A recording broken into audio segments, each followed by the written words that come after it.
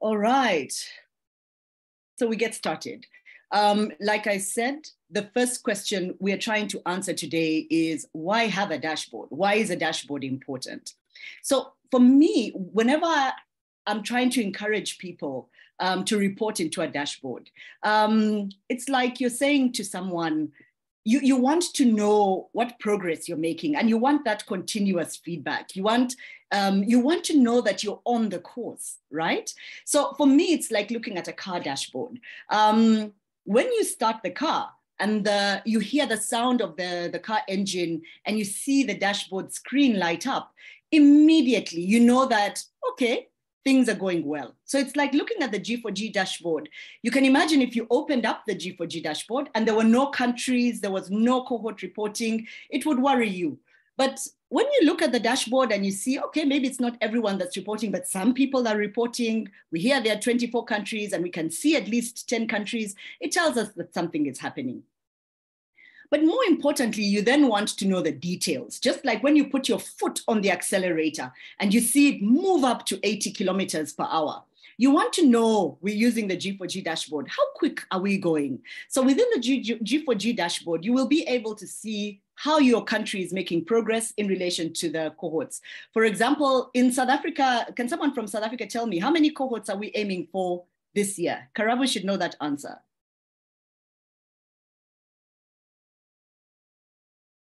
No one knows. It's 18 that we're going for, if you listen to Sheila.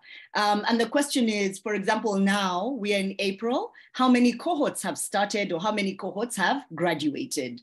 Or maybe a question that the funders may ask is that they say, we said by 2025, we shall have reached 1 million uh, girls. We shall have reached 1 million mentees. Where are we in that? So that, that's what the dashboard is good.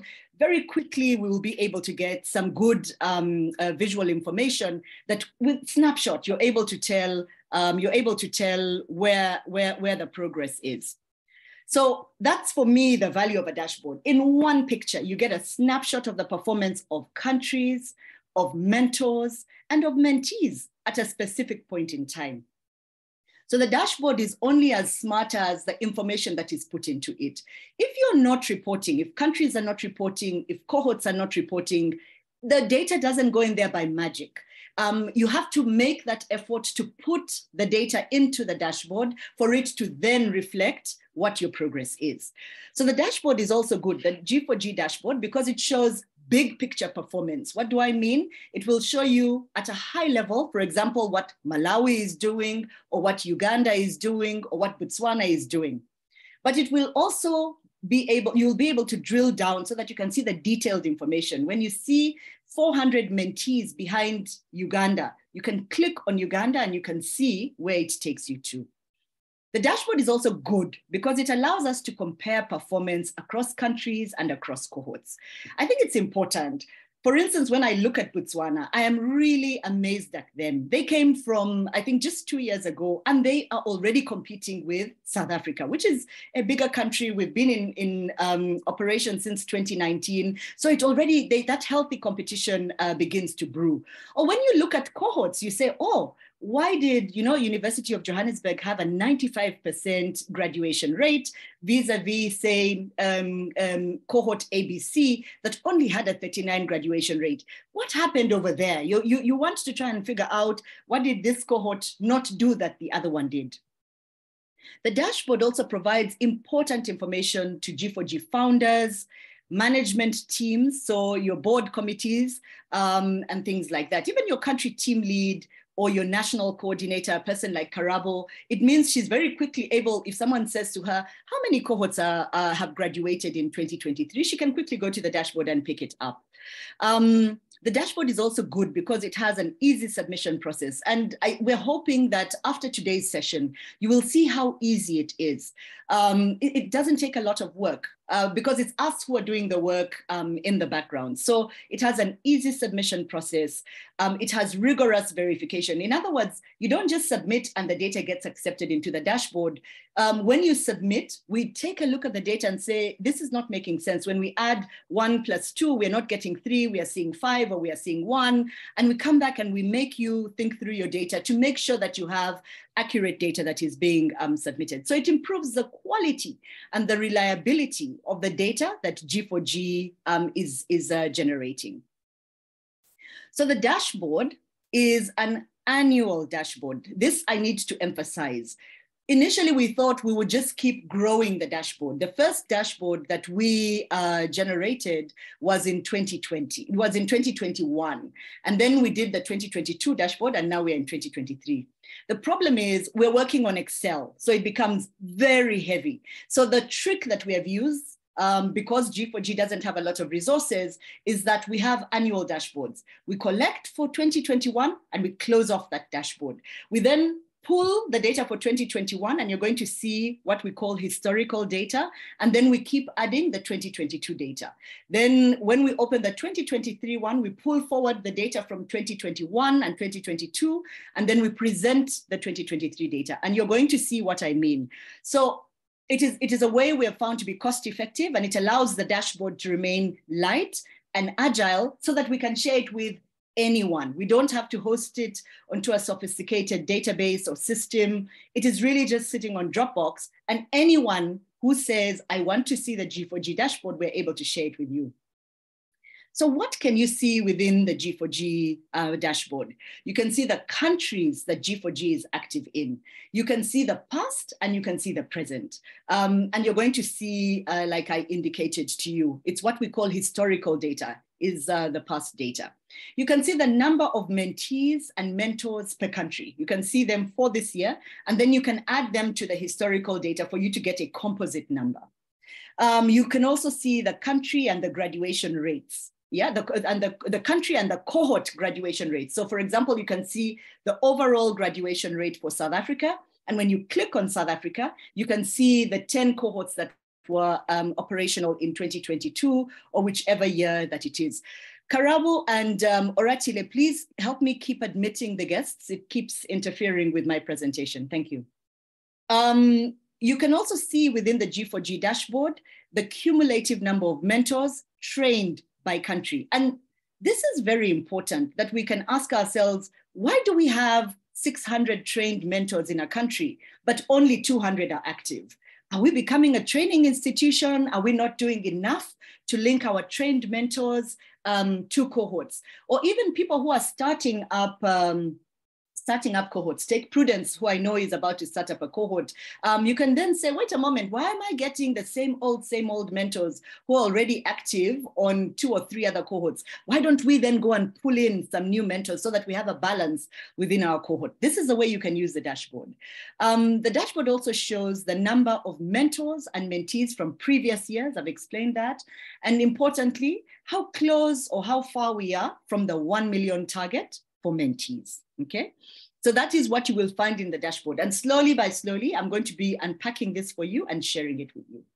So now I'm going to share with you the contents of the dashboard. I'm not yet going to show it to you live. I'm just going to tell you what is within the dashboard. And this is because when we say the G4G dashboard, it is one Excel document, but hidden underneath it is about seven different subcomponents. And you're going to make note of them right now.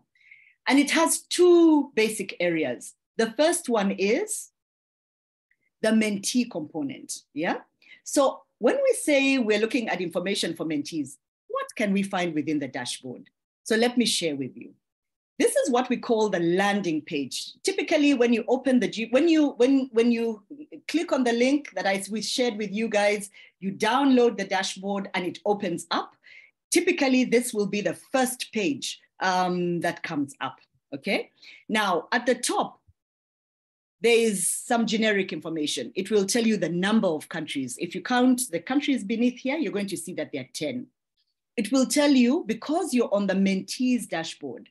And you know you're on the mentees dashboard because it is in color pink. You're going to see the difference between the mentees dashboard and the mentors dashboard. So because you're on the mentees dashboard, it's going to give you summary information on the mentees dashboard. So as of, as of, um, as of December 2022, this is the year of the dashboard that I'm showing you. The selected year is 2022. There were 1,414 mentees that participated. We have to sometimes shorten the words because we're trying to get a lot onto, um, onto the dashboard.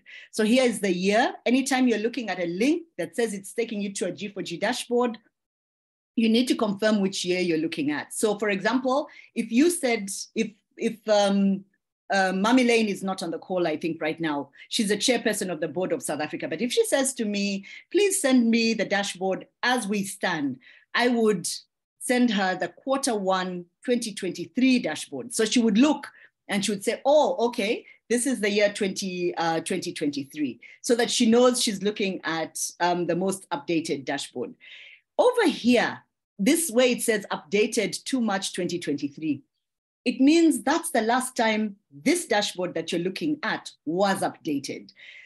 Because, and you're going to hear some of the challenges we are facing, because of the delayed submission of cohorts and countries, it takes long for us to close off a dashboard. So you can imagine for the data ending December 2022, we were only able to close on the 2nd of March 2023 because we were still begging and asking and pleading for information to come through. But this tells you what that was the status as of um, uh, 2 March 2023. So this tells you when it was last updated. Um, so let me now walk you through the mentees dashboard. I was giving you an overview. You're going to see this is pretty standard uh, when you, whichever um, segment of the dashboard you're in. So what do you find in the mentees dashboard? You will always see the countries. Your country will not appear if you have never submitted a report. So for example, Jennifer from Malawi might be asking, but wait a moment, G4G is active in Malawi. Why am I not there? They're not there because G4G had not yet graduated a cohort by the end of 2022 and therefore they had not submitted a, a, a cohort report um, for Malawi to be reflected over here. So the dashboard only reflects when they, it receives a cohort report from a country. It is that simple. You cannot be reflected in the dashboard if you're not showing progress. So here are the list of countries that submitted in 2022. Our concern is that we think there are a couple more countries that did graduate mentees, but are not reflected over here. They will not be reflected because they did not report. Okay, so here are the countries that reported. What do we see? What information does it tell us about the mentees? It tells us for Botswana, for example, there were 235 mentees that registered. For those of you who participated in the first training that we held in March, remember that what we do before you start uh, mentoring uh, the young ladies, you send out a registration form and a baseline assessment form. That 235 there for Botswana, for Botswana means 235 girls uh, um, uh, completed the form and said, I want to be a mentee with G4G. However, only 188 participated. So the girls register, then they, the, the cohort mobilizes. When it gets started, that's where participation happens. So for us, we count participation as any girl that has attended at least one session. And then the girls that graduate are the ones that attend at least four sessions. So that's the cascade of information that you will see in the dashboard. Remember, we're looking for the most important information and we're presenting it in summary format. How many girls registered? How many girls participated? How many girls graduated? And then you will even be able to see on the dashboard um, the percentage uh, performance. So for example, for Botswana, there were 149 girls that graduated out of 188, which is a 79% uh, performance. So it tells us that, you know, how, how well is a country doing? So you remember we said we can compare across countries. So you can very quickly see Malaysia and Zimbabwe are stars. The lighting system that we see is very much like a traffic light. Red means I need a bit of interaction here. What does red mean normally? Stop. It means stop, or it means that there's a problem, right? Yeah. Yellow means caution, like, okay, something is happening, but maybe you need to look a little bit, you know, a little bit deeper. And then um, green means things seem to be working very well. So the way the dashboard is, is calibrated, I think it's 50% and below, it would come up with a red. So you don't have any, any reds here. And then there's a range, I think up until 90% between, that means between 51 and um, I think it's 89%, um, you will see it as yellow, meaning, okay, you're doing well, but maybe you can do better then 90% um, to 100%, you typically would, um, you would score a green. So that's the flashlight system. It is intuitive.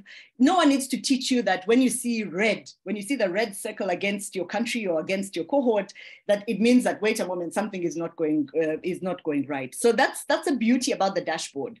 Uh, you see it and it's speaking to you. On the right-hand side, you have an average of how all the countries are doing.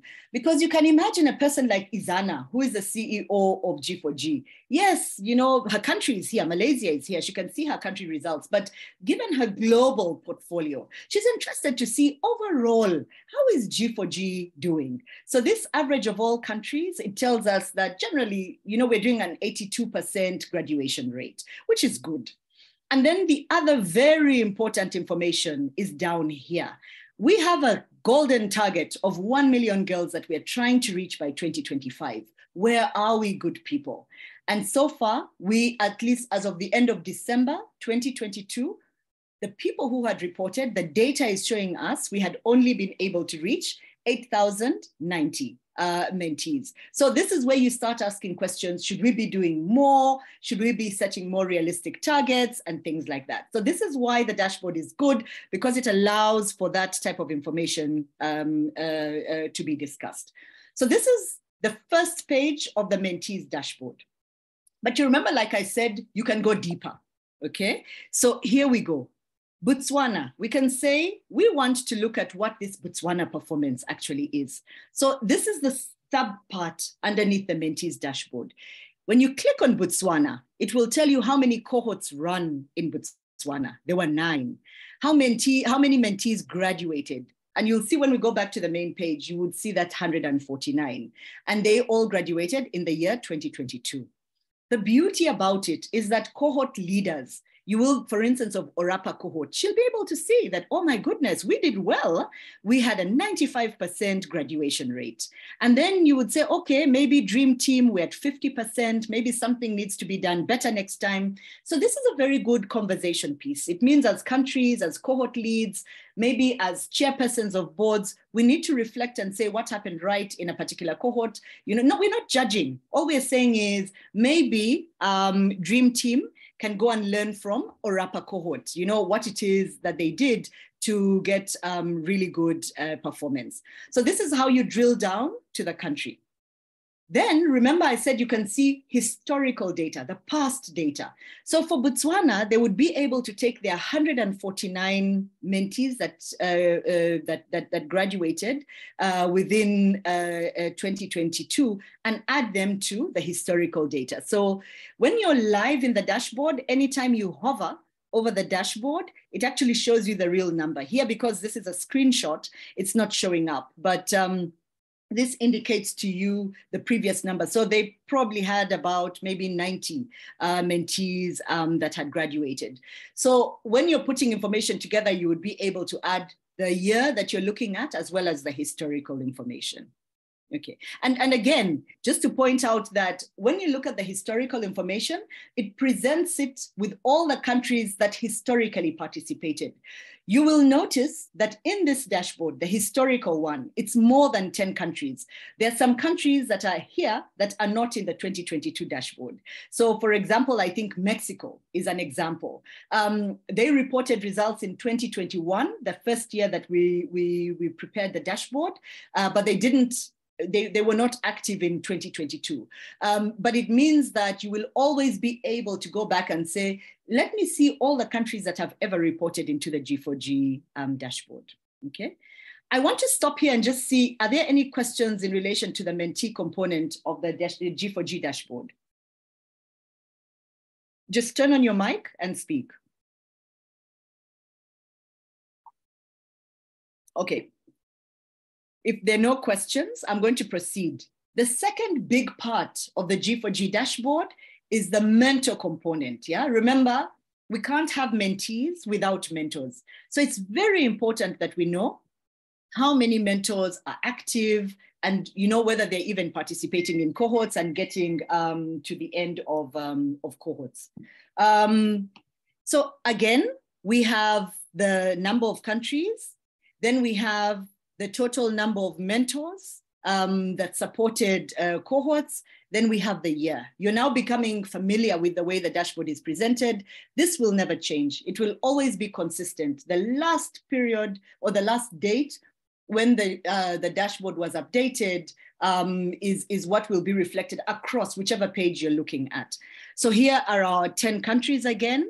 Um, and this time, because we're looking at mentors, and by the way, you know you're looking at the mentors dashboard because the color has changed. It is black. The dashboard for the mentees is pink. So you're able to see the number of mentors that participated and you're able to see the ones that completed. So for us completed are those mentors that supported at least four sessions with four out of the six sessions of a, of a G4G um, cohort. So this is your, your, your, your overall page for the mentors. But once again, you might want to see what is happening, let's say underneath um, uh, one of the countries. In this instance, I took the example of Kenya. So here we have Kenya. They had one, two, three, four, five, six cohorts that were active, and you can see the number of mentors that participated and the ones that completed. Sorry, it actually, one of the things we need to fix is that we should have participated on the left-hand side and then uh, completed on the right-hand side. But the ones in purple are the ones that participated and the ones that completed are the ones that are in pink. So you can see the cohorts and it would be very interesting to see, for example, these SWESTers, uh, so cohort SWESTers, which had full 100% participation of all its mentors, did it make a difference when it came to graduation? Same thing for magnetic. And then the ones that had a bigger drop-off rate, say for example, generation changers, did the drop-off rate of mentors affect the performance um, of, um, of the cohorts. And you can see that in the feedback reports, you can see that in the graduation rates, because we know that when mentors start changing um, or when mentors are inconsistent in their participation in a cohort, it demotivates the mentees to come back. So the other dashboard that you can see, again, like I remember I said, there are sub dashboards underneath the mentors, is the historical information. You're able to say, okay, in the past, for example, um, South Africa had um, here it's just it's i think it's 190 something uh, mentors that had been trained um, and out of those 194 that had been trained only 100 and maybe i'll say 130 were active I was a country team leader at that point in time. And I'll tell you, this was one of the things that used to bother me. But I used to look at the data, I used to use the dashboard to say, do we have a problem? In truth, more than 50% of the mentors were active, which was a good thing. But we kept on asking ourselves as a G4G leadership team, what is it we are not doing to close this gap so that every woman that is trained to be a mentor comes and becomes a mentor? Um, and I'm, I'm, sharing this type of thought process with you just so that you begin to see how to utilize the dashboard. And of course, you can compare it. Uganda is a superstar. They have so many uh, mentors that um, they train. Again, they seem to face the challenge like, like uh, South Africa. Why is everyone um, not, not, uh, not active?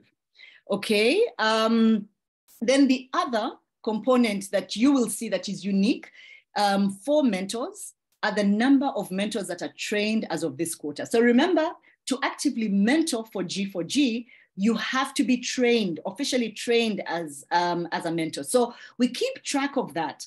You will notice that there are very few countries that are represented um, over here. You have um, um, um Lesotho, Uganda, South Africa, and I, sorry, I can't even see the last it's Malaysia that that have report, that, that are reflected. This is another pain point for ours. The training data is reported separately, and you're going to see that today. And it seems that countries are struggling more reporting on the training data vis-a-vis the cohort data. For example, a country like Kenya, we know um, had trained um, uh, uh, people. I suspect um, the, the Latin American countries who then became active in 2022, 2023, also started training. So we are begging you, please, we need to, to, to have your training data also coming in um, so that we are able to reflect your information within the dashboard and you're able to see what the results are. So those are the subcomponents of the mentee, of, of the G4G dashboard that has two big parts, the mentee component and the mentor component. Now, what are the benefits of the G4G dashboard? Um, and I think it's important to point it out. I think we all kind of have an idea, but here's a summary. It gives you quick access to accurate and good quality data. Remember, it's good quality because you're going to have Oratile, who is going to look through your numbers and say, wait a moment, this data is not making sense. So you get a free quality check for yourself. Kinelu is the one who does it for the training data. She looks and she says, no, wait a moment, something is not right with this data. Take a second look. It allows for you to do routine monitoring of country and cohort performance. So for instance, when I was a country team lead, this was my go-to. I would look at the dashboard to say, wait a moment, how are we doing as South Africa? When people, funders say to me, how are we doing? I would be able to answer because I'm able to see through the dashboard how well we are doing, the routine monitoring. It allows for easy reporting. I have given you an example here this is an extract out of the annual report um, that we prepared for South Africa. And later on, I will post it in the chat group so that you can download it for yourself. We like to do that. When I was tasked to prepare the annual report, I just go to the dashboard, screenshots, screenshots, put them on PowerPoint slides, and voila, our report is done. And then all we do is we have a summary for each um, for each cohort. Like um, at the bottom here, you see something about Asnath Mahapa. But you will notice that the data that is written in here about Asnath Mahapa is speaking to the data that is um, at the top within the dashboard. Um, so it's easy to, to prepare these reports. It allows for decision making and focusing of management efforts. So um, for example, if you have a cohort that is running uh, two years, three years, it costs a certain amount of money to G4G, but we are seeing a graduation rate of 10% then we can say, no, wait a moment, this is not making sense. There's something that needs to be done at that cohort. We need to improve them. And if you know we fail to have anything happening over there then we might need to say okay maybe it's not working in that particular cohort so it allows for effective decision making um, to happen the dashboard is also very powerful. You can see how attractive it is. It is a very powerful tool for resource mobilization. So for those of you who work at institutions or you want to even introduce um, G4G to your workplace and things like that, take the dashboard. Um, it makes us look professional. It makes us look like we know what we are doing. Um, and people can see that G4G works when they can see the graduation rates. Um, and it allows for accountability to partners and to funders. In South Africa, it is now our standard practice. Every end of the year, we prepare this annual report whereby we say, this is what we were doing in 2022. You supported us. Look at how good the results were at Asnath Mahapa, at UJ, that type of thing. Um, which means that then the funders want to give us. And I will give you a very clear example. In South Africa, in, in, 20, in 2022, at the start of 2022, we got funding from, um, from Ithuba, um, I think it was 150,000. This year, we shared the information with them. They've upped their funding. I don't know whether it's because of the dashboard, but I, I believe they, they, they feel they're associated with a credible institution. And this year, we were able to mobilize 250,000 rands um, from them. So it's a very powerful tool um, in terms of resource mobilization. You can put it in proposals and things like that. I'm coming towards the end of my presentation. I think at this point in time, it's good to reflect on what do we need um, for at a country level and cohort level to be able to reflect our results into the G4G dashboard. So one, we need human champions for M&E that ensure that data is captured and that it is reported. The dashboard cannot be reported on without having good data sources. And Oratile and Karabo are going to help us understand how that comes to happen. The other thing you need are the tools to collect data. So registration forms, attendance forms, training registers, that information is already kind of put together for you by G4G because we shared with you, for instance, the templates for registration in the March training. Attendance registers, Oratile also shared with you, you know, uh, what the register looks like. Today, you're going to be exposed to how the training register looks like and how um, uh, Karabo is able to use it. The other thing you need is equipment. So unfortunately, to use the G4G dashboard, as well as to assemble the data for the G4G dashboard, it's very complicated to do it on a phone. I, I, actually don't know whether it's possible to do it on a phone. So you would need a laptop and you would need basic skills in Excel um, for you to be able to understand, you know, when you start seeing error messages and things like that. Again, we're always available to help and support you.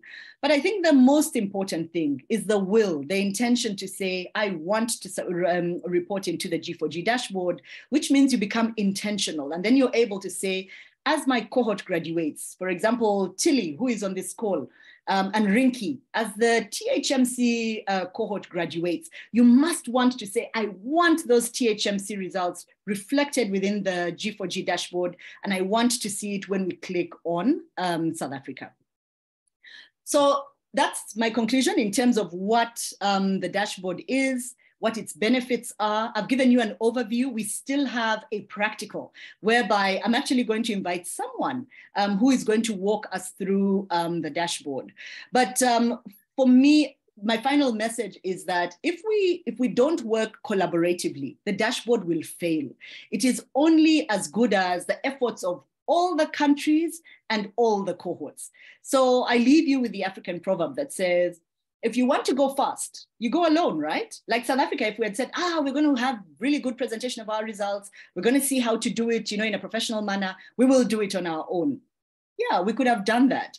But because we want to go far, we go with other people. So if you want to go fast, go alone.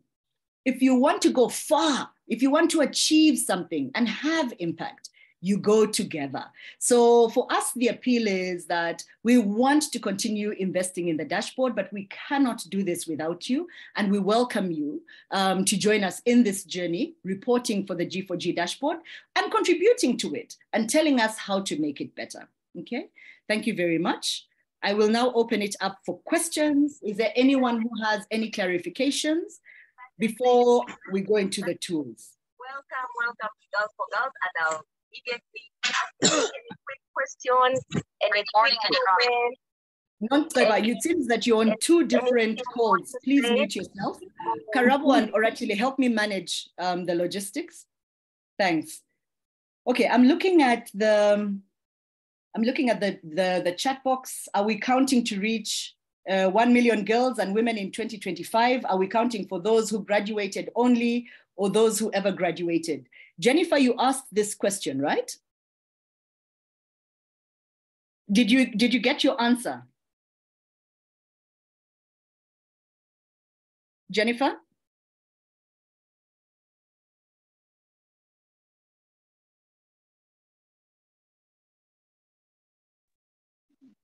I see we are two Jennifers here. Can you there, there's a Jennifer, there's a, okay, there's a Jennifer who put a question in the in the chat box asking about the 1 million target.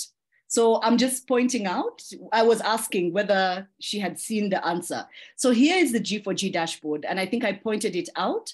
Here's the global target for the 1 million mentees, and this is where our progress is. We so far are only at 8,090. We chose to count girls that have graduated, not the ones that have um, participated. Do I answer that question? Is that okay? Okay, uh, okay, yes, fantastic. Oratile had actually already answered that. Um, and then Jeanette is asking, may I please have the registration form? Uh, I missed the, the, the first training. So um, uh, Jeanette, we actually posted that on the WhatsApp link for the mentors. We will post it later on today. Um, but remember that there, there are two registration forms, Jeanette. I don't know which one you're talking about. Is it the registration form for mentees or the registration form for mentors? Um, hi, Rita. Okay, you've actually answered my question. Mm-hmm. It's I thought it would be something different. So it would be, it would have I've got those then. If it's the same ones that we've been using, then I'm sorted. Thank you. Fantastic, fantastic. Okay. Okay. Um, any other questions um, from anyone? Any comments? We're good? May I actually just uh, ask a question? I love the, the data on the dashboard, the mentees and the mentors data. And you mentioned that if we are wanting to, I have someone in mind that has offered, I mentioned a little bit of what we do. They would like to sponsor one of our trainings. Um, do you share the mentor information and the mentees together? Is there a template that one can use to maybe ask for funding for one of the projects that um, that, that, that we are doing? Okay, yeah. so what, what I'll do, um, these are very good questions and I think very practical. We are not too many people, so maybe we'll be able to drill down further.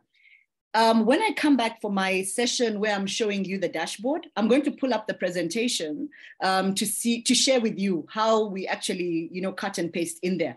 I will also put in in the in the chat box if it's an informal request. Like for example, when I talk to people and I say, and then they say, oh, we're interested. Just tell us a little bit more. Um, you can share with them the annual report. That one I'm also going to post in the WhatsApp uh, chat group so that you can begin to see how we utilize um, the information. But yes, at G4G South Africa, we've got templates, very, various templates um, for, for, for, for, proposals where we say who G4G is, um, how many people we have been able to reach. And that's the example I will also try and share with you.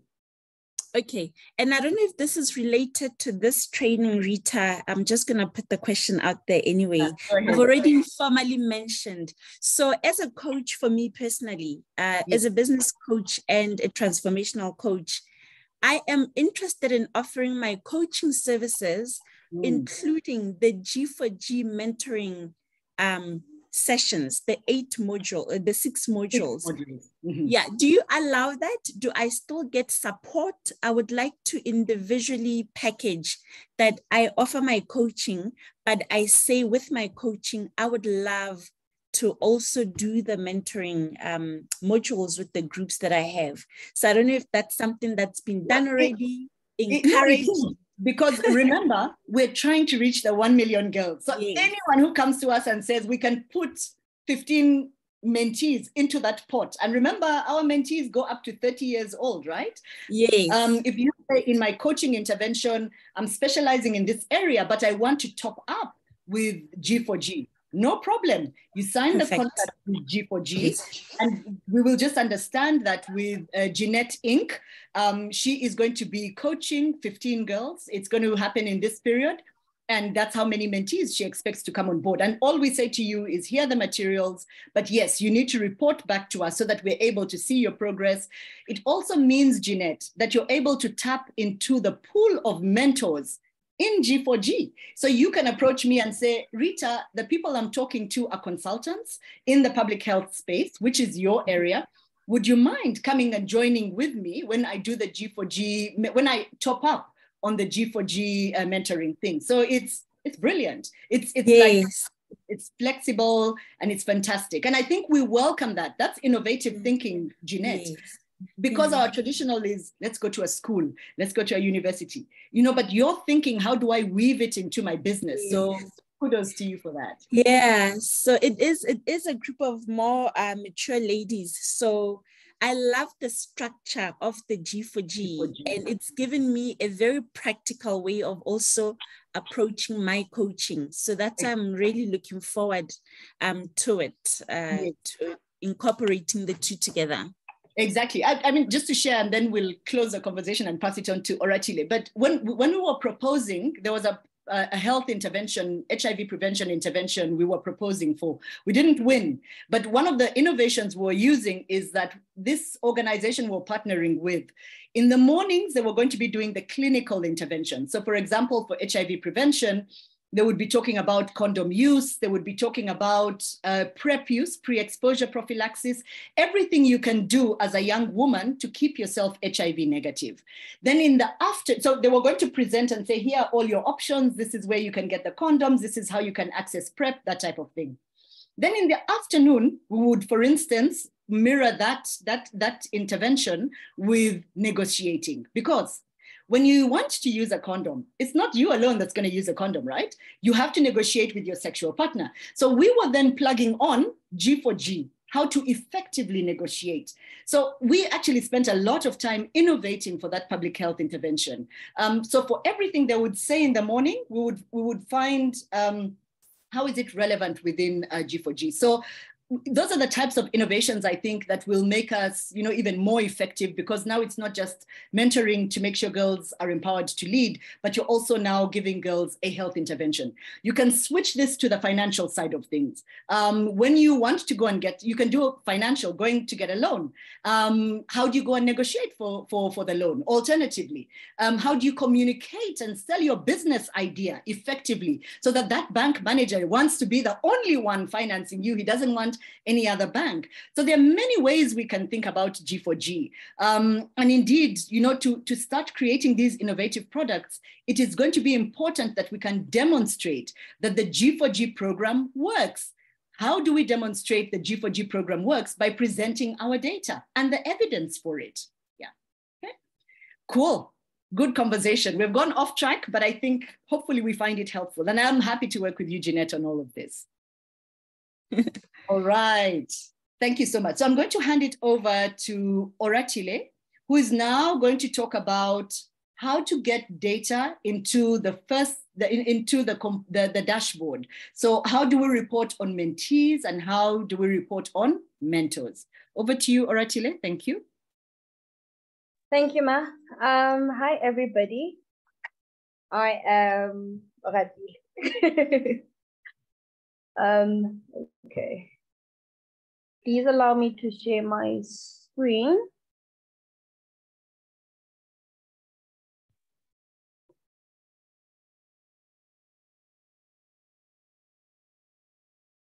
Okay, so I'm just gonna walk you through how to report on the cohort data. Like Mamrita has explained, once you're done with your cohort, then what do you do with the data? Um, this is where we go about. This is where we actually get to get our information onto the dashboard. So we normally send out um, the links every second week of the month as a reminder to the M&E people to send through um, information on cohorts that have graduated. Now, um, I would send a link through an email or via WhatsApp then all of my data will then get into my, like the core data will get into a spreadsheet, which will all be in a Google Docs. So you'd have cohort one, two, three from various different people who have actually filled out the form and they go into one, one Google Docs. And then this is where I do my quality check, where I check the information um, I will show you how to go about it at a later stage. Um, also, this is where I review and then we send back any information that has any discrepancies. Once that has done, I'll move the clean data, which is the data that has no errors or no discrepancies, onto a clean sheet where they will then be extracted to, will be generated to the dashboard that you see at the bottom there. Is everybody okay?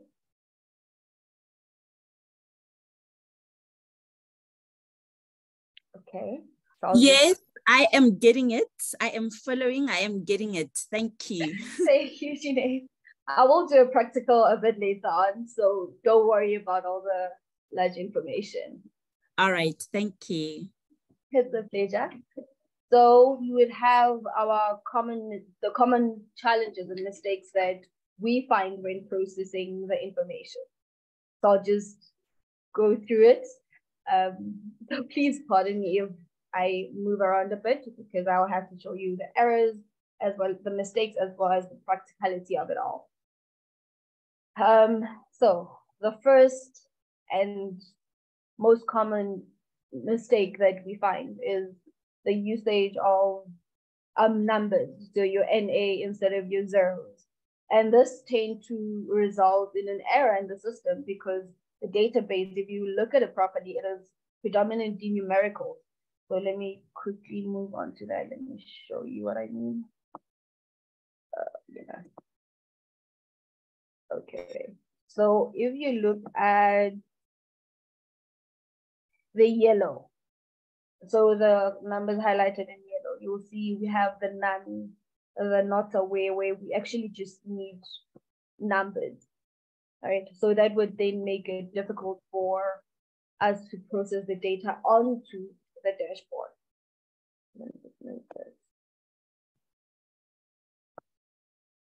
Okay.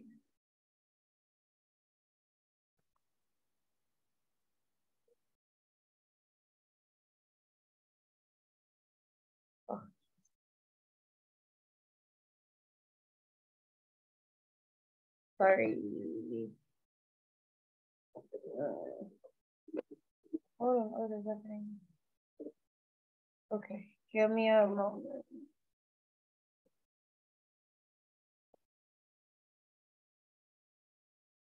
Who is that thing in the barbecue? Please give me a moment. Um,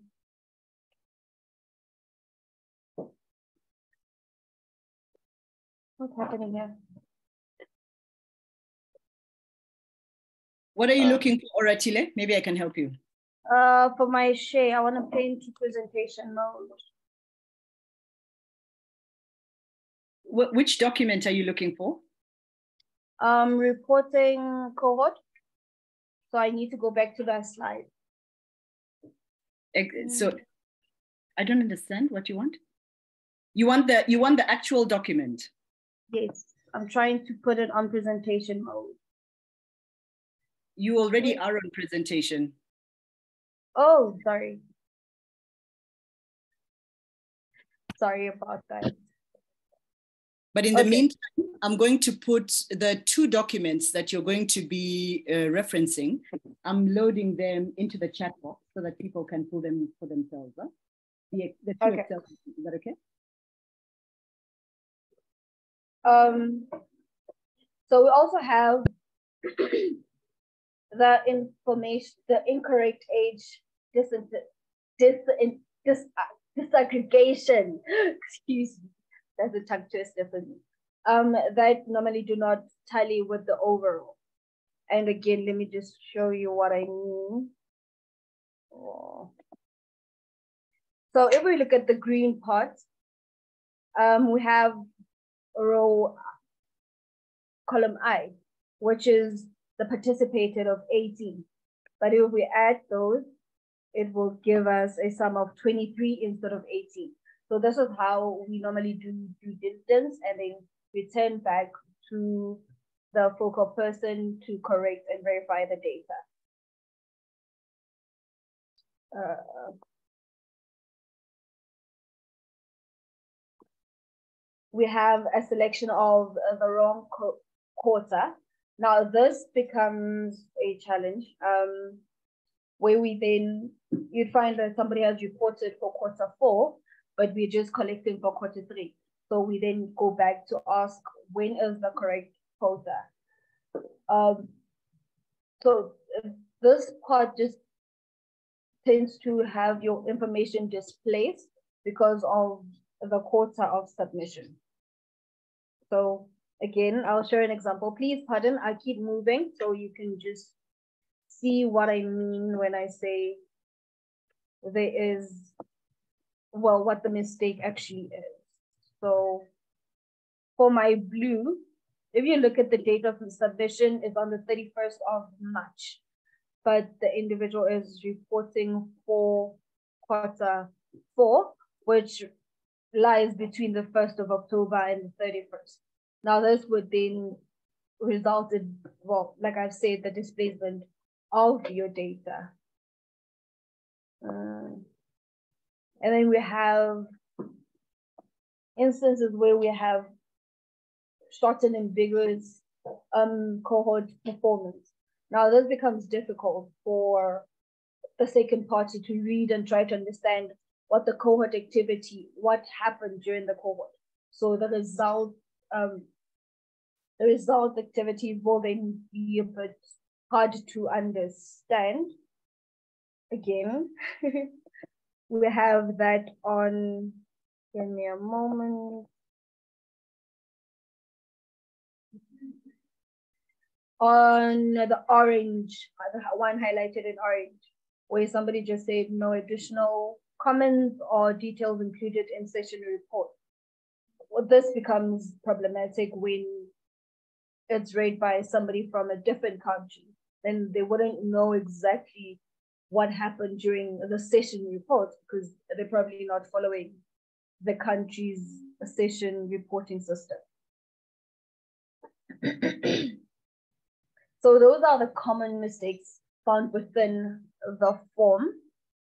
Um, we also have the coordination system, coordination challenges, um, where you find that um, country leaders and, and M&E people are not aware of the cohort activity happening in their country. Now this leads to a delay in generating the form, like Mamita had explained before, where there is the part where we have to show the updated version. Um, this is normally because of the back and forth where we have to get the data. So it this part delays the actual reporting and the the generation of the um, dashboard. And then we will have I mean people not submitting reports on time. That also results in the um, delay in the generation of the dashboard. And lastly, we have a lack of communication from countries when and if they change the M&E person. So this would normally result in um, us sending information or links to the wrong individual. Now this could mean that some cohorts get lost or are not, um, they are not reported and uh, it would then send a delay in the generation of the dashboard. Now, when the information is misplaced or is not reported, then would automatically be a misrepresentation of, of the country activity, hap- the cohort activity happening in the country. Um, I hope everybody is clear. And if anybody has further questions, my contact details are below. Mother. Does anybody have questions for me? Or comments? Hi, Oratile. Oh, sorry, I'll wait. No, go ahead, Jeanette, sorry. Okay, no, uh, thank you so much for the presentation. Just a quick one on my end. When I upload my data, is it automatically generated or you guys would need to release it for me to view it? Is it an automated upload of the data that I input into the system? Okay. Um, thank you, Jeanette. So it, when you upload it, it's automatically uploaded on my side, and then I will check it. And then if there are errors, I would then review it back to you and say, hey, um, Firefly sent you their report. These are the discrepancies. I sent back the spreadsheet as well for you to view what the discrepancies are. And then if it's okay, I do say, hey, I got your report. It looks okay. I will be moving it to the section where it gets generated to the dashboard. I don't know if I answered your question. Yes, you do. So I wanted to just gather, it gives me an opportunity to rectify so that the data is accurate. So that answers my question. Thank you very much. Yes, ma'am, it's a pleasure. Um, anybody, a comment, question? Um, sorry, if I may just chip in. So Jeanette, this is what we were saying, that um, we, we know that we get good quality data because when you submit, it, it, yes, it goes automatically into a system, but it doesn't go automatically into the dashboard because of that quality checking measure. And okay. that's what. And and in sometimes in the beginning, people used to get angry because Oratile would come back and say, but this is not adding up. But I think it's to come from a point of appreciation that there's a second eye that is looking, mm. we all make mistakes. There's a second eye that is looking to say, oh, wait a moment, this and that, when you add it up, it doesn't make sense. So that yeah. quality checking and that verification process ensures that what we see in the dashboard actually makes sense. I'll give you an example. It's very easy if we were just taking the data that was coming in because the dashboard adds up those subcells. You might find that 200 people registered, 200 mentees registered in South Africa, and then you find 405 participated. And it's mm-hmm. simply because someone did did did the wrong um, reporting. So that's why we look at it and we say, no, no, no, wait a moment. Maybe you crossed your data, or maybe there was a data transposition error and that type of thing. Okay, no, that's that's amazing. I've done some embarrassing things where the where the data has gone live without that second eye. So I love that it it is uploaded, but it doesn't go live immediately. Because if there is, sometimes it's such small mistakes and it can mm. be such an embarrassing thing. Yeah. So I think I appreciate that quality check before it goes live. Okay, perfect. And that's typical M&E because in M&E, it's not just about collecting the data, but it's about quality checking the data and ensuring that what is ultimately reflected um, is appropriate. And then finally, of course, you close the loop by using the data. So very good questions, Jeanette. Thank you. Back to Oratile. Okay, um, as I had explained, um, Madam, may you please put the registration and the register on the chat for me so that everybody can see what I'm talking about? Um, okay. If everybody yeah, they're in the chat box. Yes. Download the two Excel documents. We're gonna have like an interactive session on how to fill out the the cohort report. So I'll just give you a minute or so.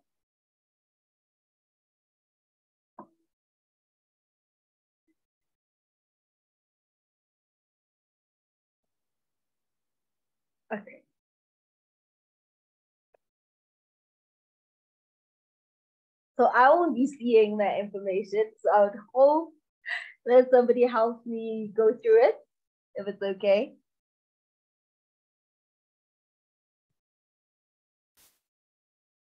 Okay, so now I have displayed to you the form that you would see once you once a cohort is completed. And this is what we keep referring to as the cohort reports that essentially gets gives us data for the dashboard.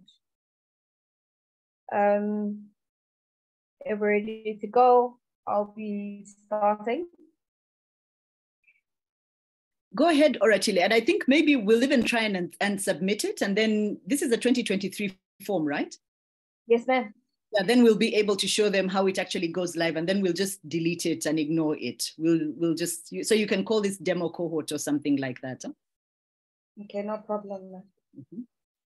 uh, okay, this would be your personal information the country you're reporting from. I'll just go with this one. Um, cohort name, that's the cohort you're reporting for. So this is done at the end of session six of the cohort. Um,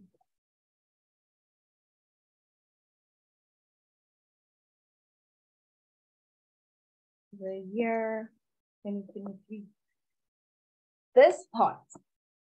Um, so the period is when we say, let's say debit cohort ended um, March, February, March, I mean February 27th.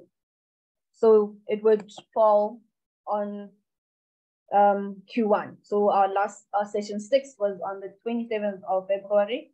It would then fall under Q1. Go to the next part. So Sorry, um, just, just to chip in on the quarter. Um, it's when the last session was held, because sometimes we get questions around, oh, but our graduation has not happened. As long as the sixth session has been held, you can report. I just wanted to flag that. Thank you. Thank you, ma'am. Okay, so this is where the numbers come into play.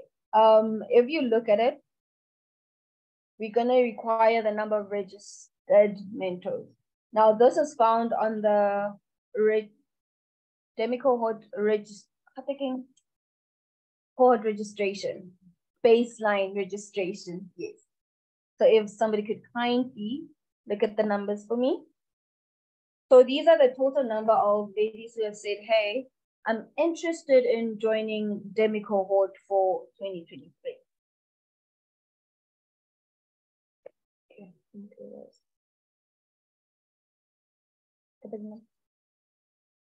What's your question?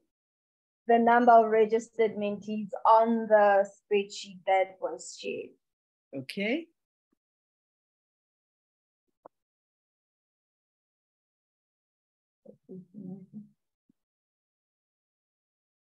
Anybody?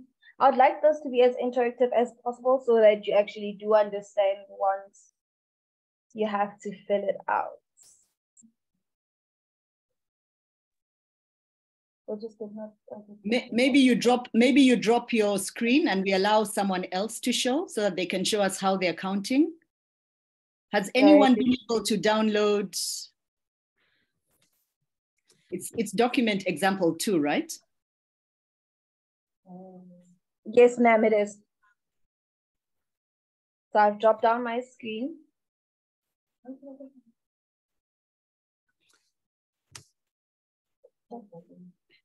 I've got 15. Sorry, how are we answering?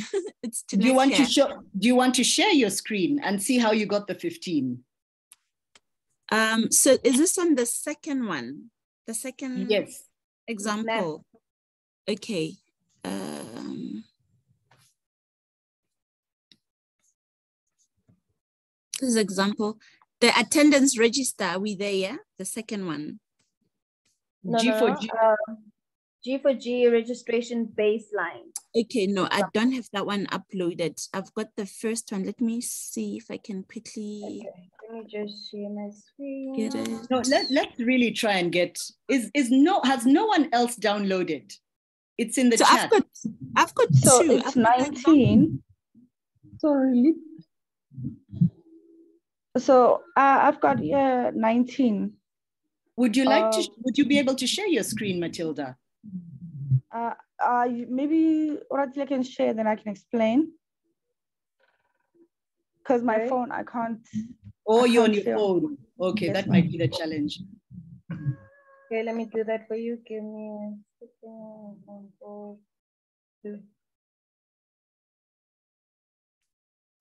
There it is. Tilly, can you see it? Yes, ma'am. So, okay. uh, from, um, so from the um, Excel sheet, you can see the number of uh, people by highlighting, because the first one is mostly um, the name, uh, emails and stuff. I highlighted from the second all the way to the last number, and I got um, the amount of um, the registered mentees. So that gave me 19 because um, the first one has that whole pink bold example of mentee. So I started from the, the actually started from, oh, it's 18, sorry. It's 18.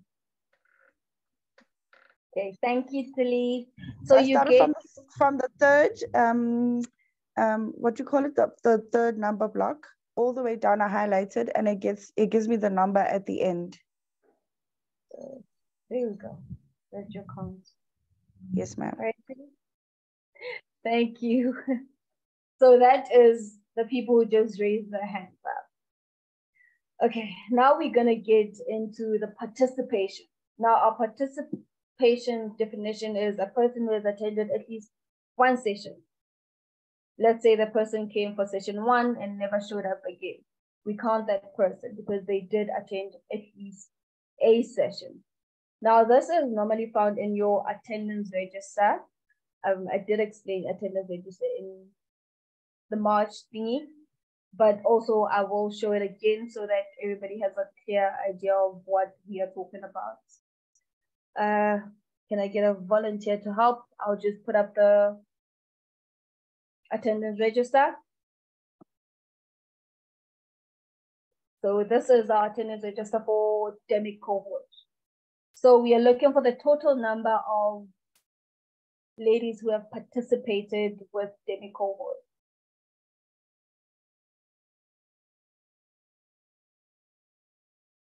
Can anybody tell me what the number is?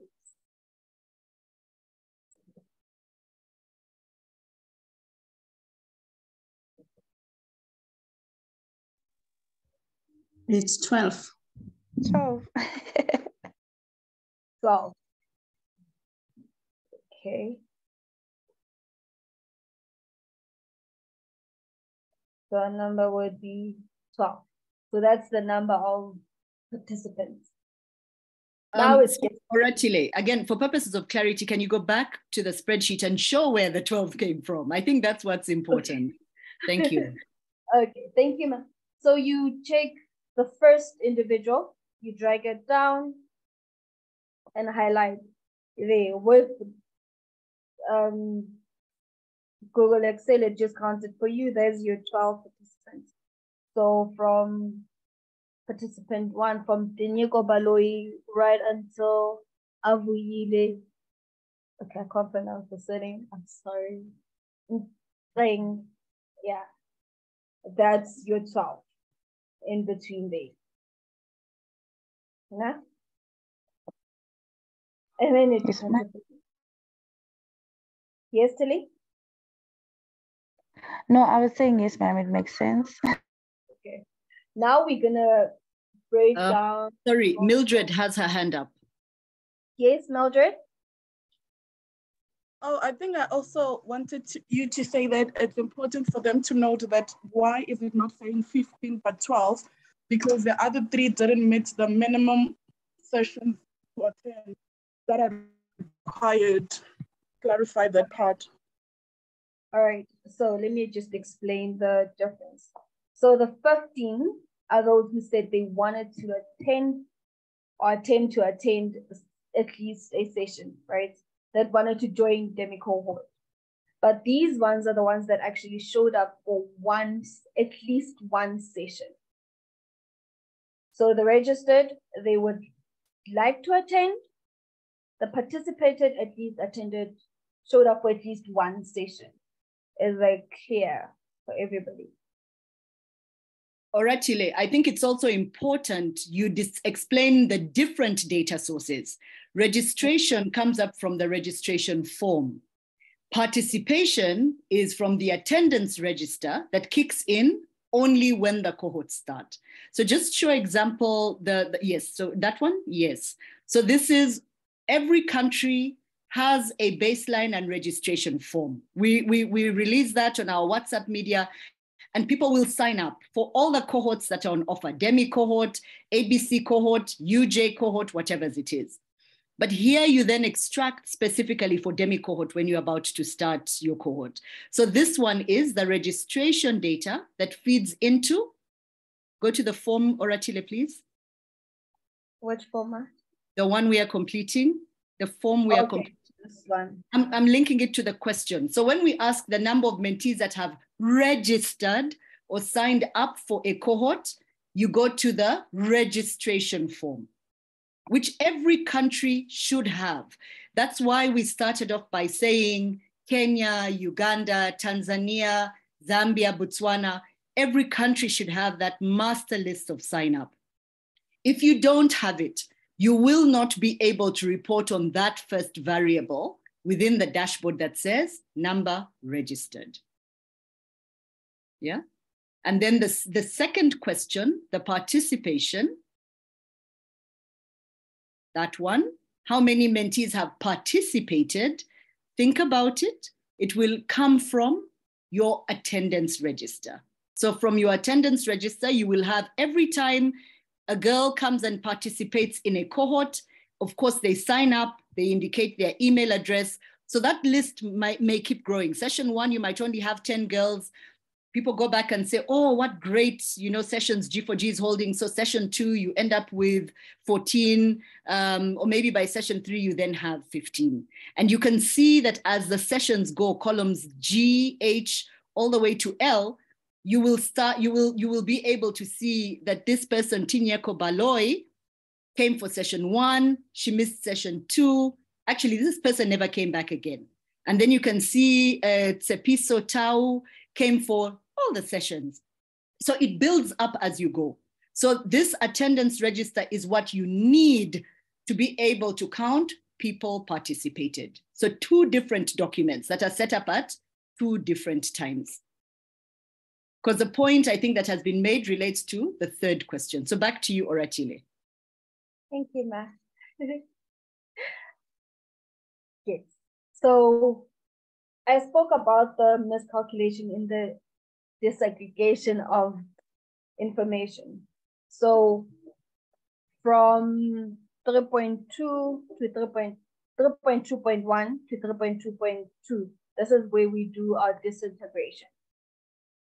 Um, so on the registration, on the attendance register, can I get the number of girls who have participated between the ages of 15 and 19?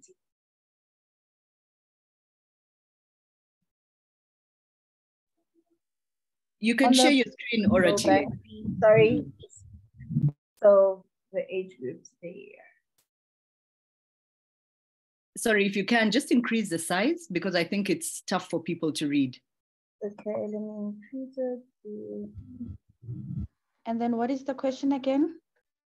The number of mentees that participated between the ages of 15 to 19.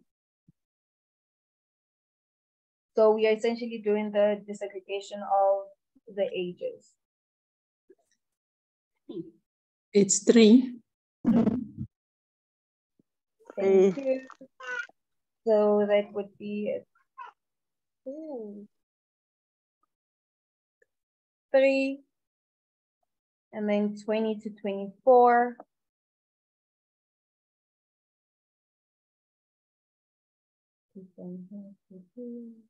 Um, six. And six. Yeah, I heard somebody say six. Six. I've got six. So that is your six day. So from 20 to 24, we have six mentees who participated. Uh, moving on to the ages 25 to 29. I got three. Yes, ma'am. So we have a few right there if we do our count. Thank you very much. And then for the mentees above the age of 30.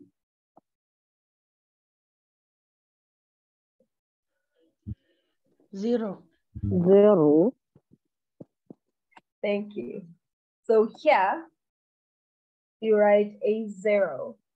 Um, remember the, the mistake I showed you where we get the none and the NAs? We plead that we just use a numerical zero because everything is numerical based. And because of that star there, it says entry is required. So for everywhere you see a little star, just know that you have to fill out the the question. So it would then be a zero. Ratile? Yes, ma'am. Um, if I would, if I was to put an NA there, would it be applicable? No, it, we get a system error because our form does not read words. Instead, it works with numerical. Got it. Thank you, darling. And then we have the number of mentees with disabilities. Um, do I have that question? Yeah. Okay, so with this one, this question, we have the mentees with disabilities. Now, correct me if I'm right, it is a standard question for all G4G registration forms. Exactly. That question is standard. It's included in the standard template for registration. So as the girls sign up, they will explain what their disability is if they have one. Um, it might be sight, it might be hearing, whatever it is. So we will we, we will know because it should be reflected within the registry, the baseline registration form. Thank you. Thank you. So like Mamrita explained, we have the registration baseline form. So that's where you would get your um, information on the disability, right? The on the baseline database, which is column F. Row F. Okay, column A. So this is where we actually get to know if mentees have, I'm just gonna make it a bit smaller so that everybody can see everybody. So let me just give it.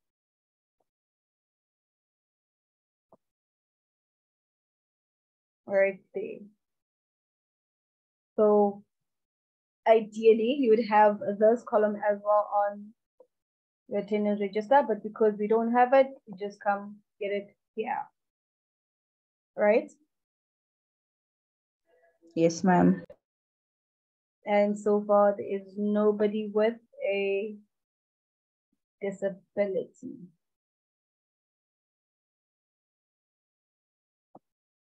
So for that question, it would be a zero. We good so far? Yes. Thank you. Now we come to the graduated. Graduated is considered a person who has attended four or more sessions. So if a person attended one session, the person has not graduated. Or a person has attended three sessions, the person has not graduated. This part, we also get it in our um, attendance register template. So now we're going to look for the total number of mentees that have graduated, which is found here. Let me move this side. Can I get the total number of mentees that have graduated?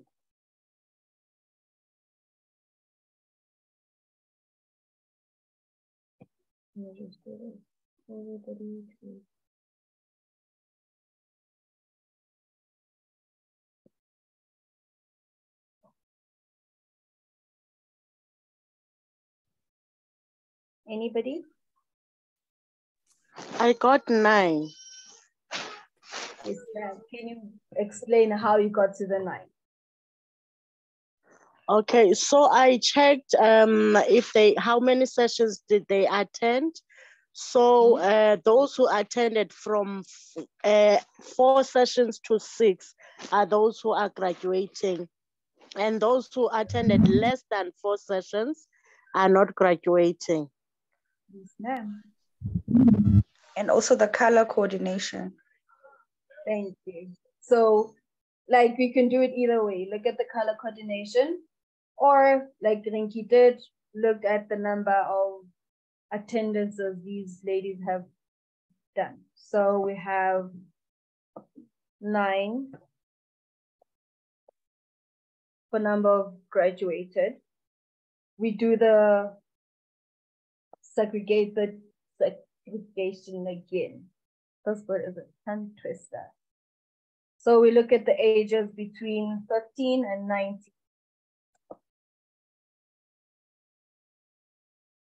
Let me just hide this for you so that you can see it. Hide it.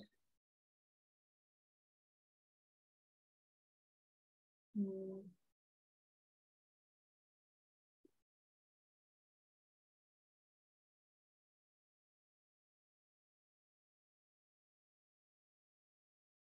Okay. So here is our age group. So we're looking for mentees that have graduated between 15 to 19. Two. Thank you. And then, so that's a two. Um, 20 to 24.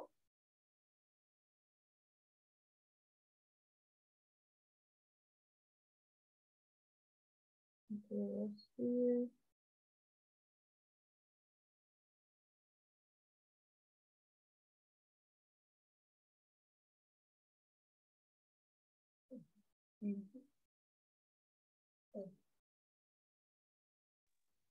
Anybody? Mm, I got five. Yes, ma'am. It is a five. Let me show you. So the count is six right there, all the ages 25 24. But then there's a red there, which means it's the six nine is the one. And then for 25 to 29,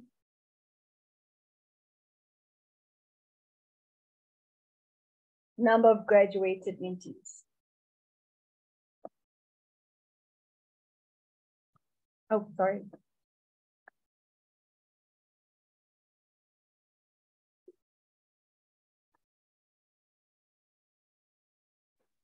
We have two, ma'am. Thank you, Tilly. So it's two. And then for 30, the zero. and then again, graduated mentees, because we don't have a mentee with a disability, it would be there, zero. We could put the numbers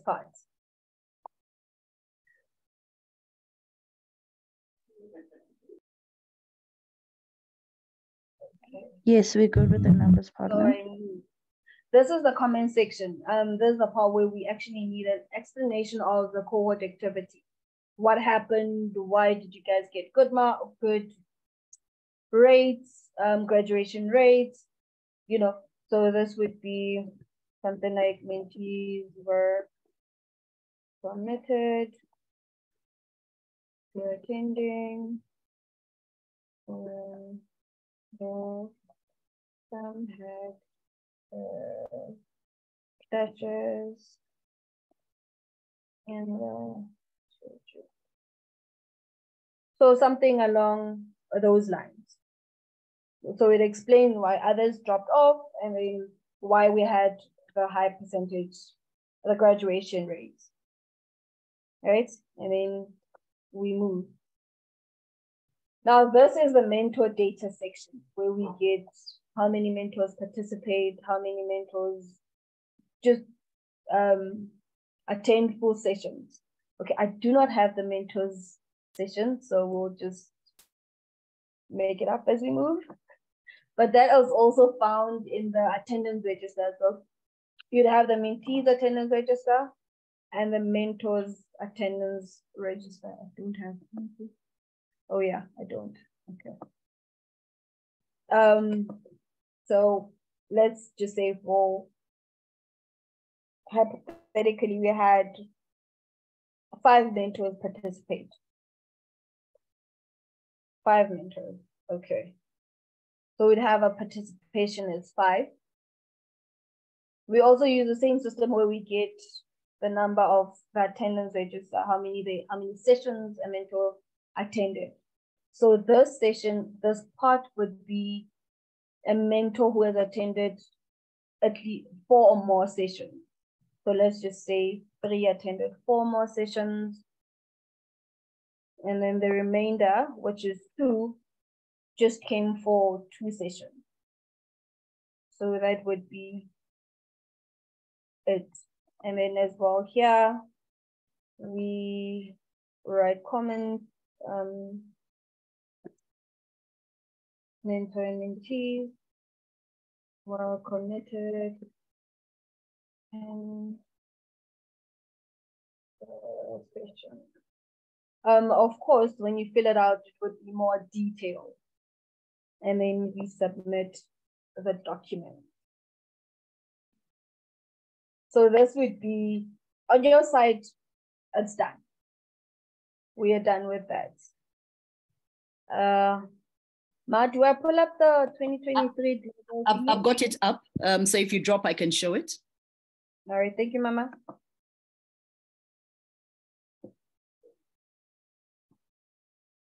Right. There it is.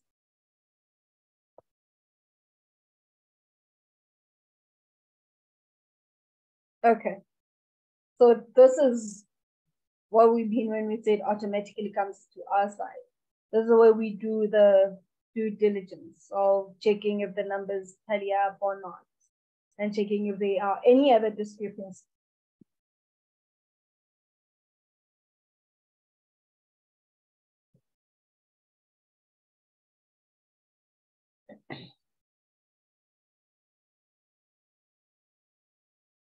Oratile?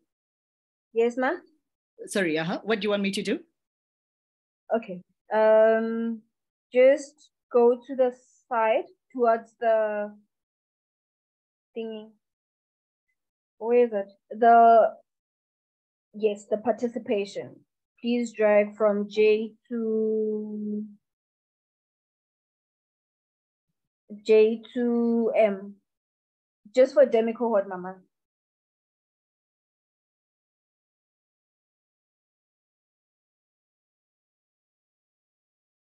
Okay, so now if you look here, column J to M, tally gives us a sum of 12, which is the sum of our participated mentees right at I-12, I-20. So that's how we do due diligence and we'll do that for the rest of the row before we move it to a sheet where we can actually get the verified data generated onto the dashboard. Thank you, Mama.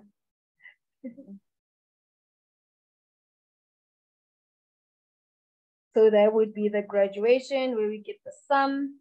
If you look at the number of graduated, we have the nine right there. Okay. And then please go to the mentors side of things. So we have five mentors that participate if we do the tally, it's five. So this is how the verification process is done, which will move it to the clean version of the data source, which is the clean sheets.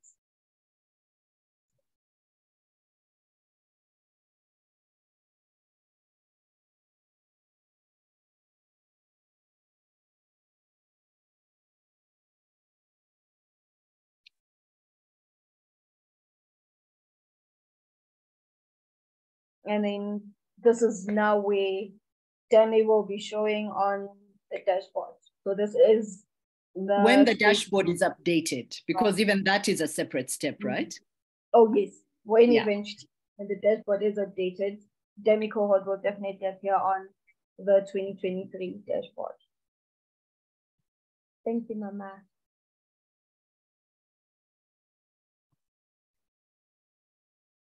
Thank you, everybody. Do we have questions or comments?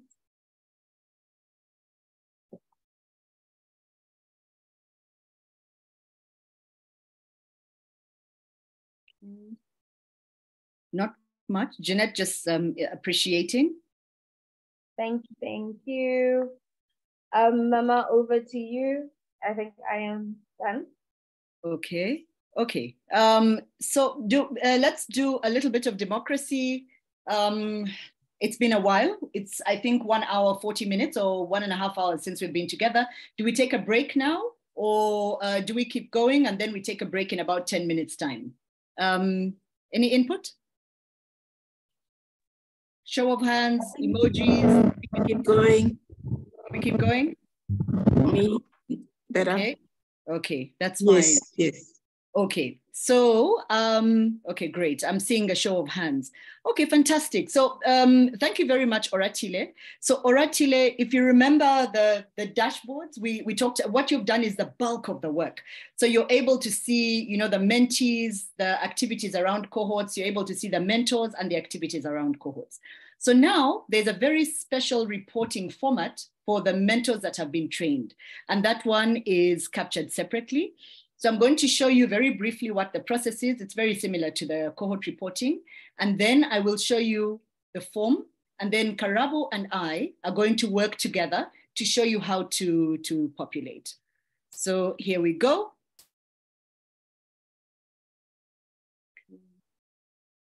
Okay, I need to close that. Close that. Okay, here we go.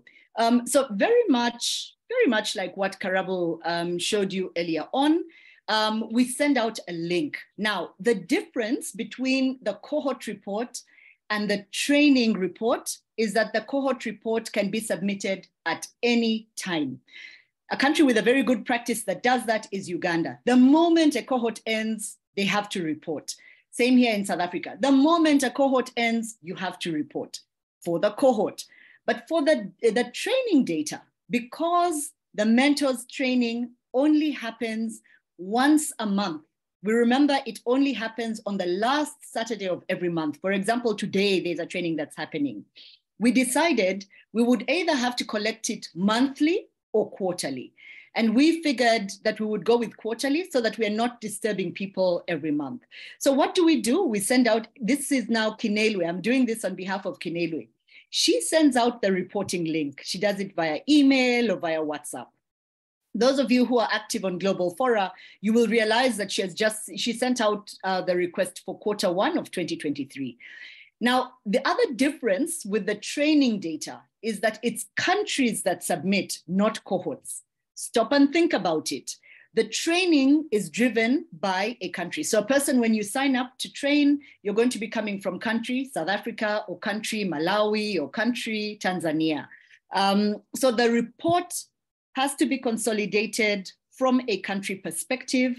They submit the data similar to the Google worksheet that you have just seen me displaying.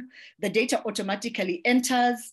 Then there will be that check, just like what we have done under the cohort data, whereby we look at the numbers, does it make sense? And then the dashboard is updated um, and um, it, is, it is issued. Um, so that is the process. Very simple, very similar um, to what we have been, we, we, to what we have just gone through for the cohort uh, data. So I'm not going to go through as in as much detail, but I wanted you to see what actually happens. So remember I said Kinelwe will send to every country. She has a list of who the contact people are for the, the, the, the, mentors training data. So she will send it via an email and it will come up this way. Uh, you can all see my inbox. I need someone to yes. talk to me. Thank you very yes. much. Okay, so you click on it. It's the usual, very simple. It takes you straight um, to the worksheet. Um, so um, here I had already started playing around with it. Um, here is the email address um, the name of the person that prepared uh, the report, the country I am reporting from, um, and then the year. So let's imagine we are now reporting for activities that happened earlier in the first quarter of this year. Um, so it's 2023. We used to put an option of years, but then people would were picking the wrong years. So now we know that we only run um, the link for a specific year. I think it has helped ease that problem. And then the quarter. So similar to the caution that we made in the previous session, it is, we are reporting data for um, the months that happened within the quarter. So you can imagine uh, when Karabo was preparing for South Africa, um, the quarter one results, she could only prepare it after the March training had happened. So she will be preparing results for January, February, and March. It is impossible at this point in time to be reporting quarter three data for 2023. We are not yet there. It also is impossible for you to be reporting for quarter two because we still have to, to train for the month of um, May. We still have to train for the month of June. So right now we know we can only do it for the month of, uh, sorry, for the first quarter. Okay. So once that has been populated, um, you now come to where we actually capture the data. So in this session, I'm going to be working with uh, Karabo. Um, so I will introduce the question to you and then I'm going to hand it over to Karabo. She will share her screen.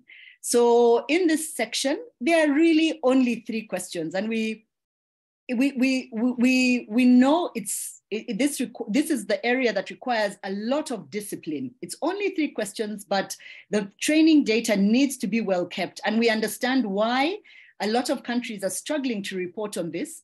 It's because they're not growing the database of, uh, of mentors that have been trained.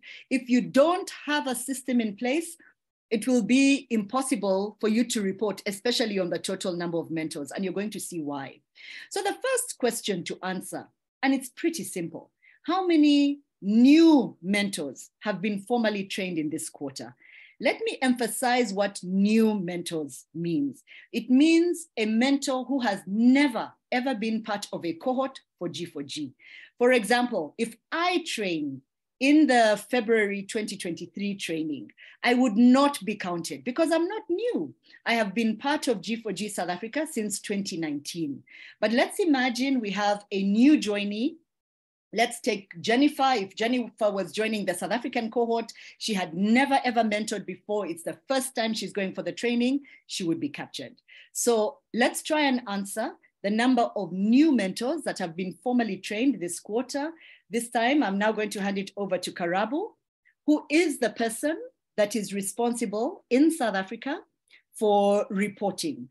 So as Karabo gets her worksheet open, um, it is important, I think, to take note that every country should be thinking about who is it that is responsible for reporting on training, on the training data from the country. Karabo, I'm waiting for you to put up your worksheet.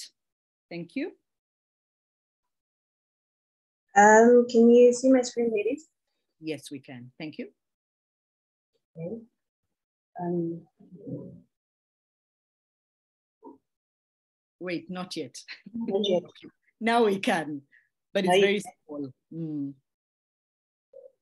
Okay.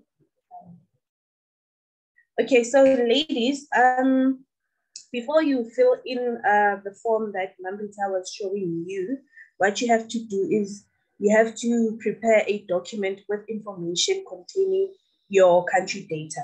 So what I did for South Africa, I um, abstracted data from um, the mentors training registration list that we get from the, the WhatsApp group chat, something like this. This is the, the list that you will see.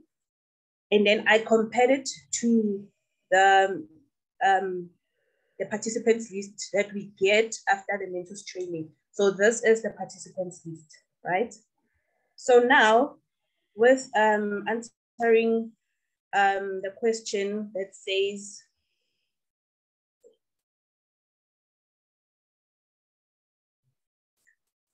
so with answering the question that says, um, how many Okay, can I can I quickly fill in this and then we'll take you to the question.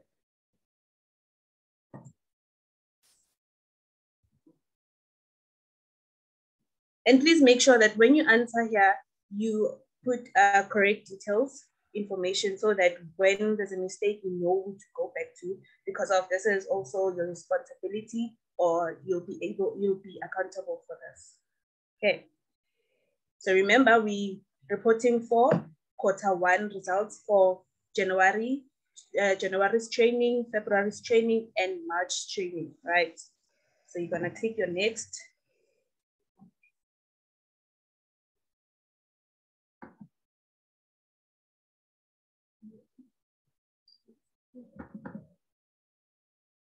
Has it gone to the?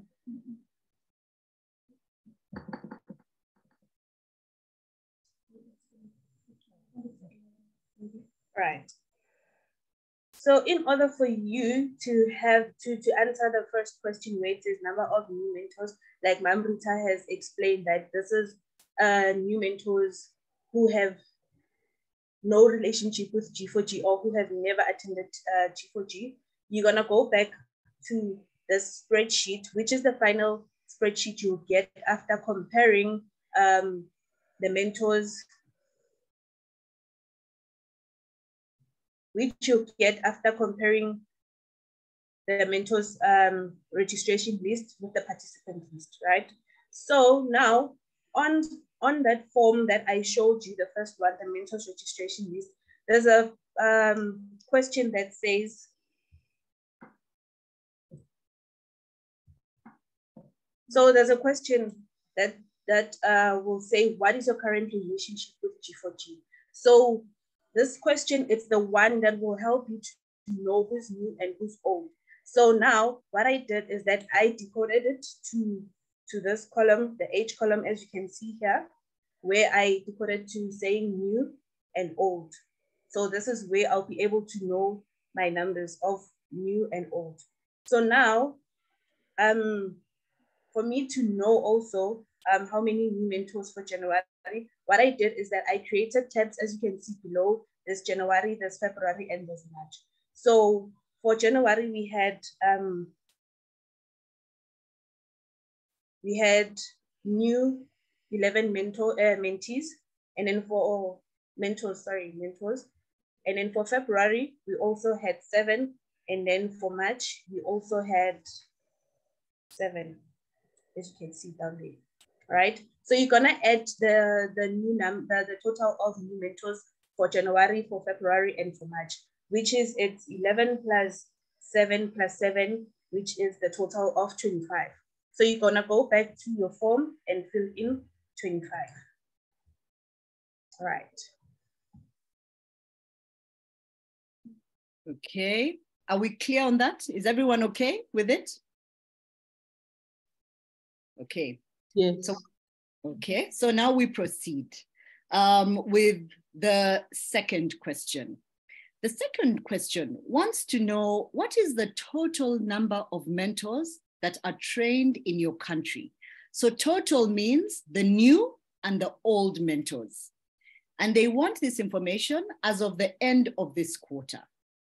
When answering this question, you have to count mentors trained since the start of G4G in your country. For example, in South Africa, we started in April 2019. So this means it's a count all the way from April 2019 up until March, uh, 31 March 2023, okay? We are also counting people, not attendances. And it's very important you understand this. You can imagine a person like I, Rita, have been in training since April 2019. I have trained other people. I've attended for refresher purposes. I've attended sometimes to motivate my own South African mentors to attend. So I've probably attended about six or seven different uh, trainings. So if you were to count the number of my attendances at the training, you would be getting false data. You would be saying seven mentors trained. So what we insist is that you count Rita. The attendance information is separate. Here, for this answer, the total number of mentors trained in your country, you're going to add people. So over to Karabo to share with you how we do it in South Africa. Thank you. Thank you, Ma'am Rita. So ladies, um, for you to, to, to know um, how many mentors have been trained since the beginning of G4G in your country. So for South Africa, we had uh, created a document or rather a spreadsheet that looks like this, as you can see. So um, for you to get that information, you we, we abstracted the information from the participant list and then we captured it on this document. So of course you'll have to name it so that you know um, which document it's saved under right? So what Ma'am Rita was saying when uh, she said you need to capture only um, I mean, a person once, not the attendance attendances. Let's, for, for example, let's take um, Asnat. Asnat has been captured once, as you can see, and then we added uh, the, the month and year of a month and a year where she, she participated or trained uh, or took part in the mentors training, right? So now, for you to to know um to get the total of how many trained mentors you have since the beginning of G4G in your country, I'm just gonna simply highlight from Abigail going. Um, I'm just gonna drag it down until the last person, which is um, the last month of the training, which was March for quarter one, right? So as you can see, I'm scrolling. Okay, the last person is White. So now, as you can see, there's um, a count down there.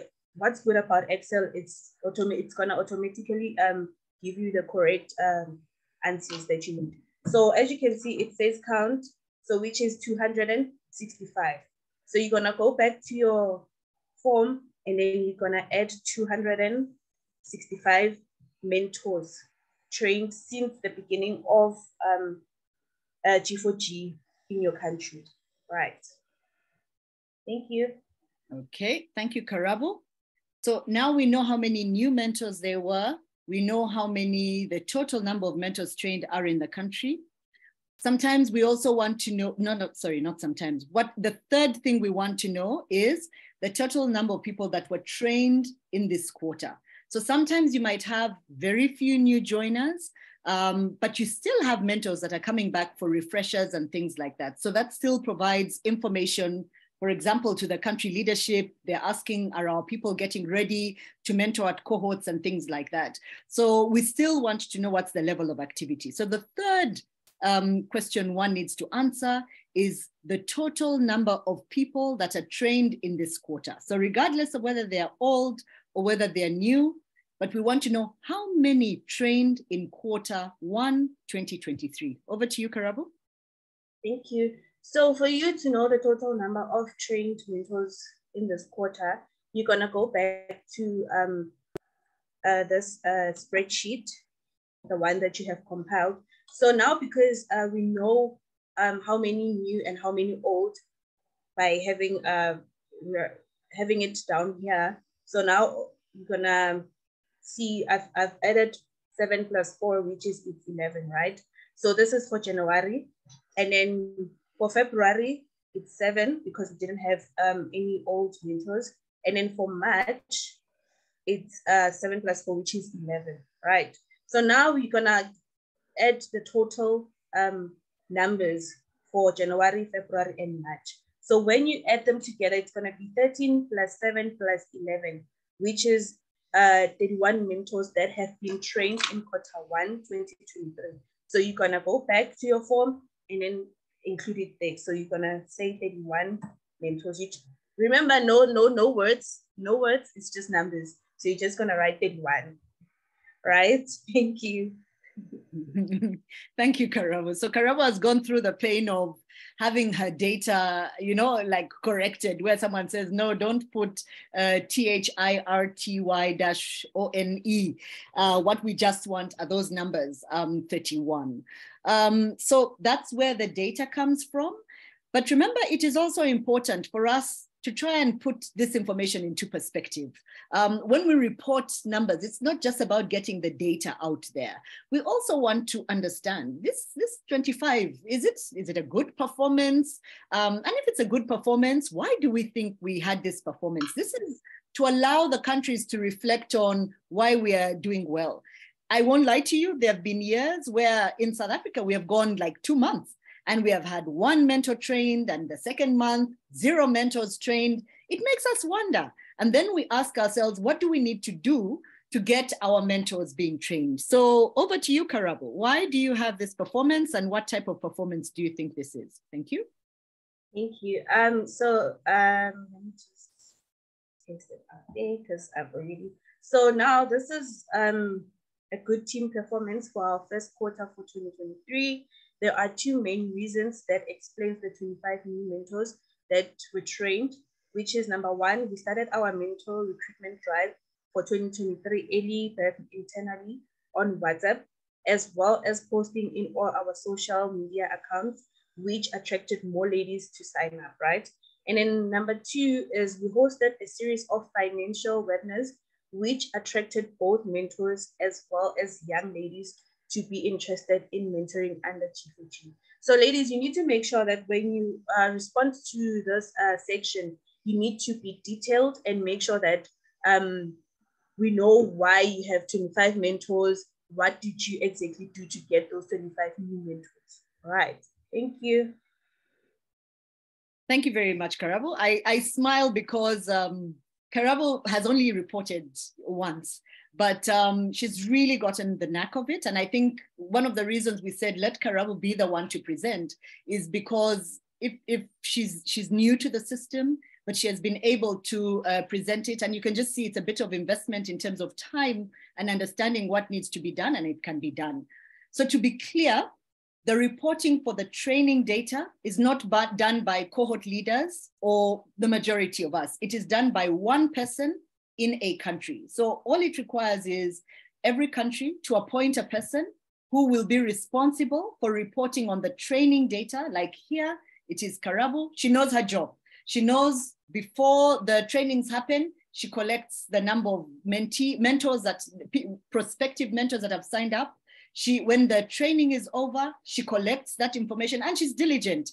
She collects that information and she says, okay, give me that Zoom link. I want to see who from South Africa actually participated. She then consolidates it. She analyzes it to see who is new, who is old. And Karabo, how often do you do this? Every month, every quarter? When do you do this?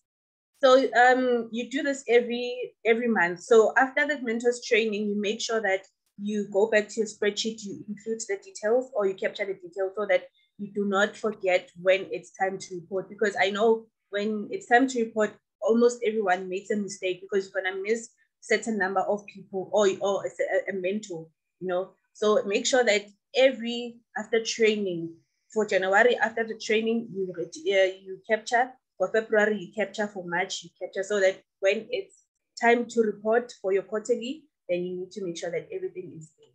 So yeah, yeah, every year. Yeah, and let me ask you, just how how long does it take you to complete the training the training report? Like to organize your data and then to complete and populate the training report. Just a realistic estimate? Is this like two days worth? Is it two hours? What is it? So um, it only takes like an hour depending mm-hmm. on how fast you are and mm-hmm. for also how how how often do you do this so it take it takes normally an hour to 30 minutes depending yeah okay okay so it's something one can plan for yeah yeah All righty. Thank you very much, Karabo. Flowers for Karabo. We've not been giving flowers uh, and and uh, rain. I know some people do showers and things like that. Any questions for this segment um, from from the participants?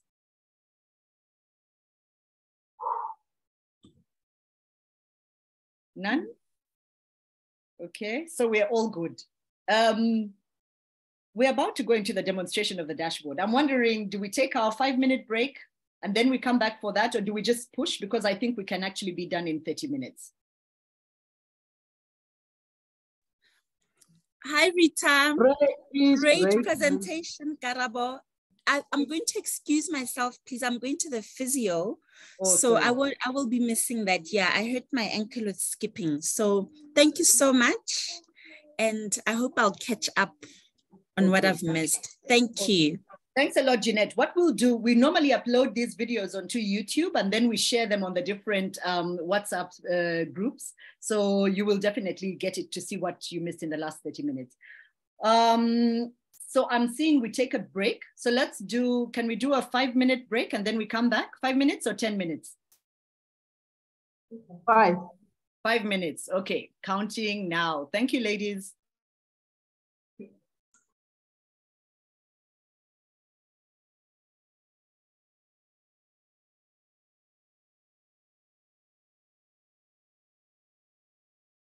We are just talking about or actually we're just talking about um, the importance of keeping a register. Can you just just just remind people why it's important to keep an attendance register over and beyond reporting for the dashboard? Yes, thank you, ma'am. Um,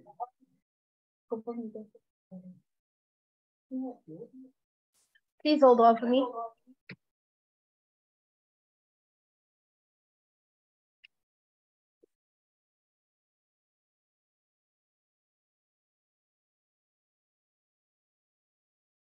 No? Okay. Yeah. yeah. So keeping an attendance register is important. Number one, as a cohort lead, you need to know how many girls you graduated. Um, normally with G4G, we do graduations where we have, we give the ladies certificates, we give them gifts.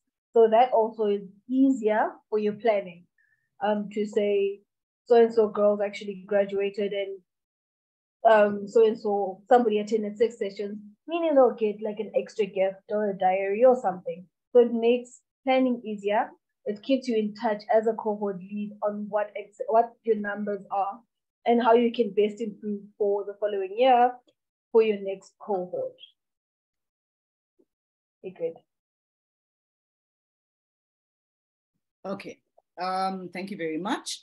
Okay, so now we're coming to the interactive session.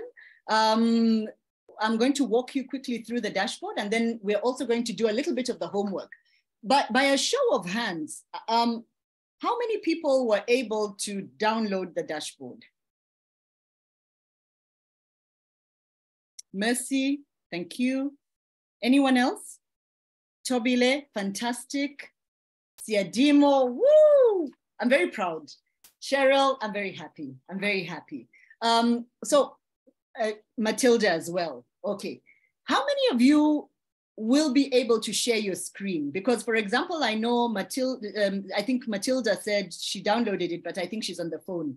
How many of you will be able to show it using, okay, Matilda, you're able to show using your, if I allow you to share your screen, you'll be able to show?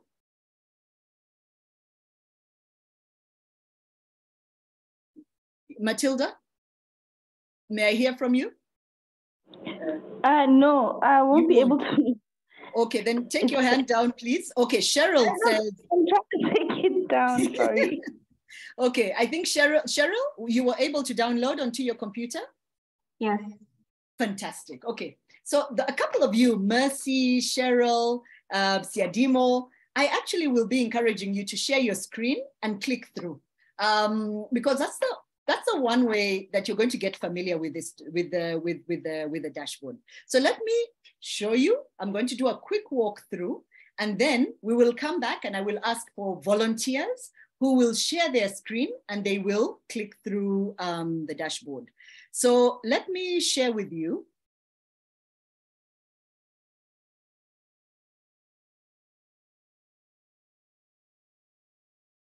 Okay.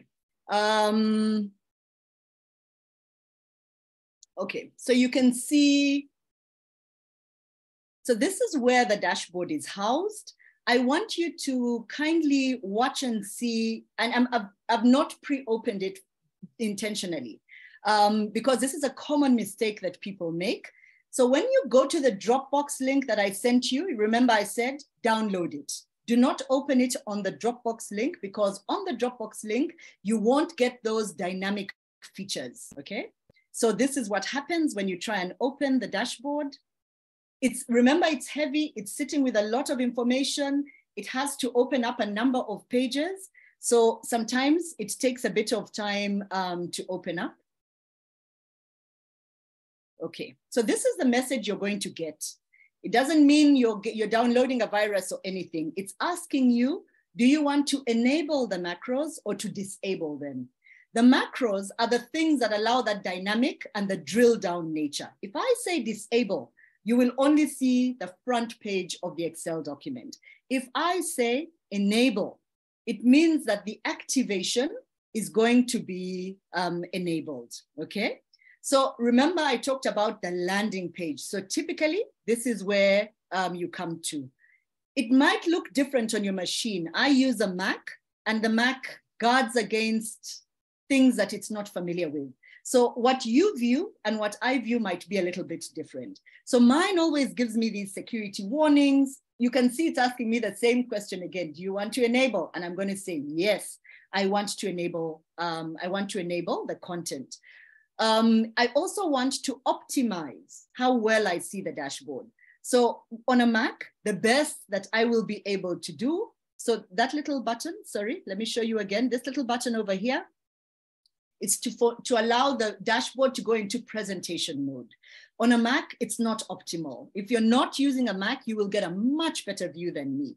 For me, all it does is that it it, it, it slightly removes some of the things that are um, up here within Excel. Um, on a non-Mac, it actually gets rid of um, all these things that are up here. Okay, so here's our dashboard. Uh, remember, we said um, the number of countries, the number of mentees, all of that you will be able to you will be able to see. Um, you can optimize in terms of size. Um, if you're struggling um, to see it better, just be careful that there's some information that you might not see at the bottom. I'm doing it bigger for us to be able to follow. So this is similar to where I took the screenshots from. Um, so this is our landing page. Which dashboard are we looking at? I want to hear voices. Mentees. Mentees. Dashboard, yeah, the pink dashboard. And this is where we said we see overall information uh, per country. We can see the partic- registered participation, graduation rate.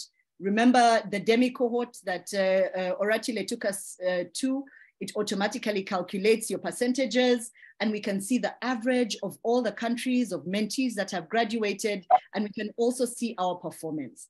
Now, because we're in the live dashboard, um, all I need to do is to click. So for example, if I say I want to go to South Africa, it will take me to South Africa. And we are able to see the dashboard for South Africa in the year 2022. So in South Africa in 2022, we had 11 cohorts. We graduated 202 mentees. And you're able to see where those mentees came from. So this is the beauty about accessing the dashboard live, that when you hover over the numbers, you can actually see what the exact number is. So for example, now for the University of Pretoria, you can see that 83 mentees registered, whereas when you hover over participated, 45 participated. So you can already see there was a big drop off rate from the 83 that registered to the 45 that participated.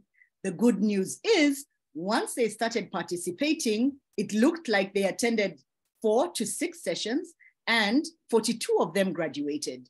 That graduation rate is indicated over here. So we're able to very quickly see. Um, so you can very quickly compare and say, oh, okay, in 2023, the best performing cohort was Mamelodi, looking at their 94% graduation rate. You can, however, also see that they were a relatively small cohort, right? 16 girls participated. You can very quickly see that the, the cohort with um, the biggest number of um, uh, participants, um, it was the Trevor Huddleston uh, uh, Center. They had 44 girls that participated.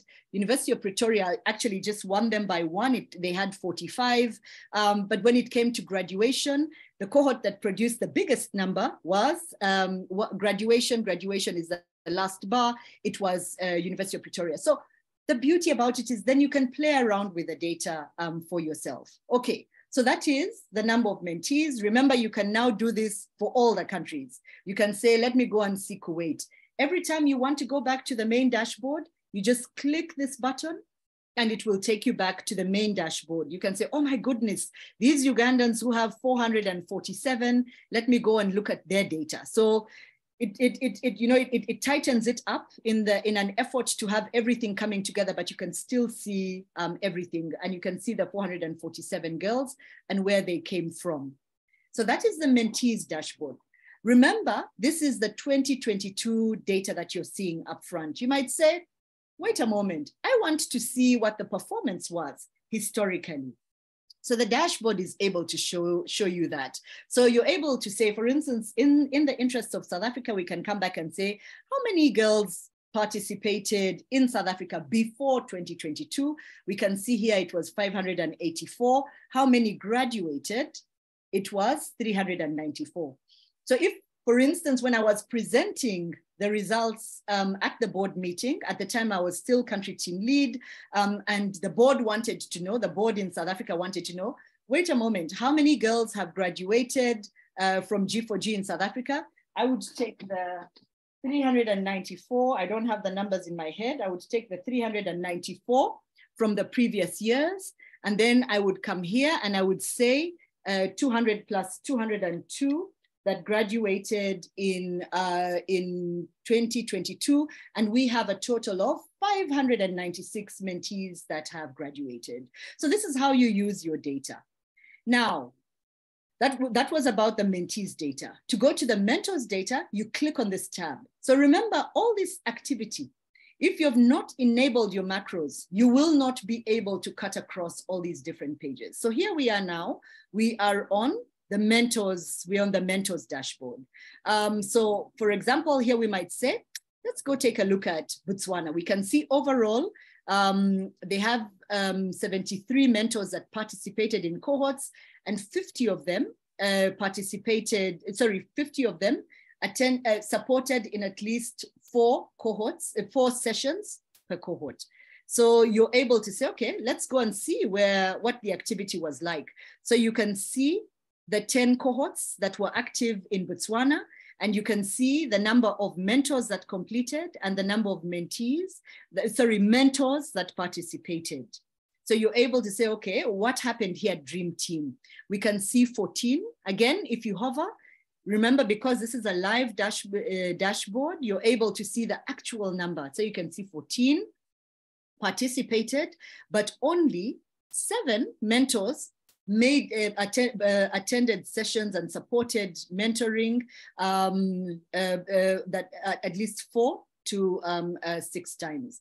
So just like the previous, the standard rule is, if you want to go back to the main page, you simply click that button, you will be able to go and see Lesotho. Um, if you want to, you can see they only had one cohort, they had three active mentors, so you're able to compare across countries.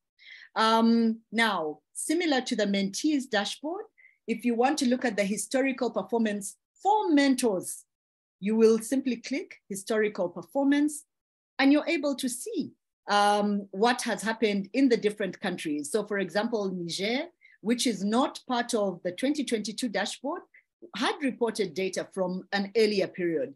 And you can see that that country has 48 mentors that were trained and all 48 mentors um, did become um, active and supported um, in at least four different sessions. So you're able to see a variety of information and you can go back. Remember I said unique for the mentors database um, is the, the information on the number of mentors trained. So the information that Karabo reports, um, this is where it comes to. We're able to see that, uh, for example, in, in South Africa, we, are, we had, um, as of this quarter, so this one adds up, it adds up, it adds up. You remember that question that said, as of this quarter, what is the total number of mentors that have been trained? Um, that number comes and gets added over here. So we can see 244 for South Africa. we have 472 for um, Uganda. Malaysia has its number, Lesotho has its number. So you can see the problem of countries not reporting.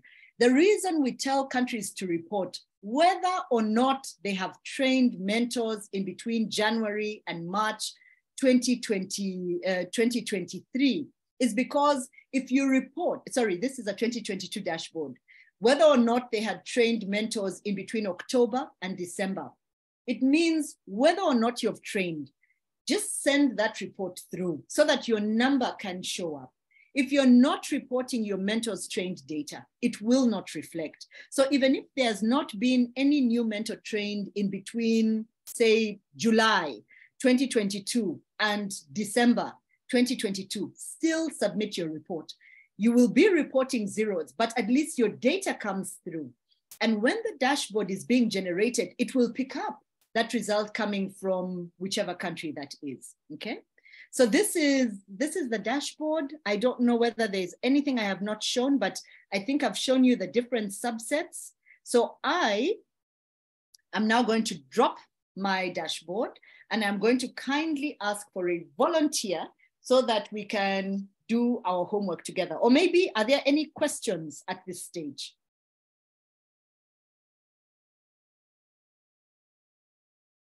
Any questions? None? Doesn't okay. look like it, man. Okay. Um, so let's do this. Um, can I please get a volunteer? Is there someone who is willing to open up the dashboard on their side? Uh, because I'm going to ask you to help us find some information. And I know the people who confirmed were Cheryl, Mercy, unfortunately, now. Okay, Cheryl, please go for it. Please share your, your, your, your dashboard.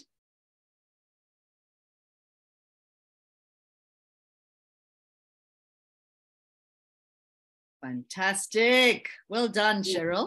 Not see my screen. Okay. Um, great. So uh, were you able to, nav yes, please click that. Please click that. Fantastic. Do you, Cheryl, do you use a Mac?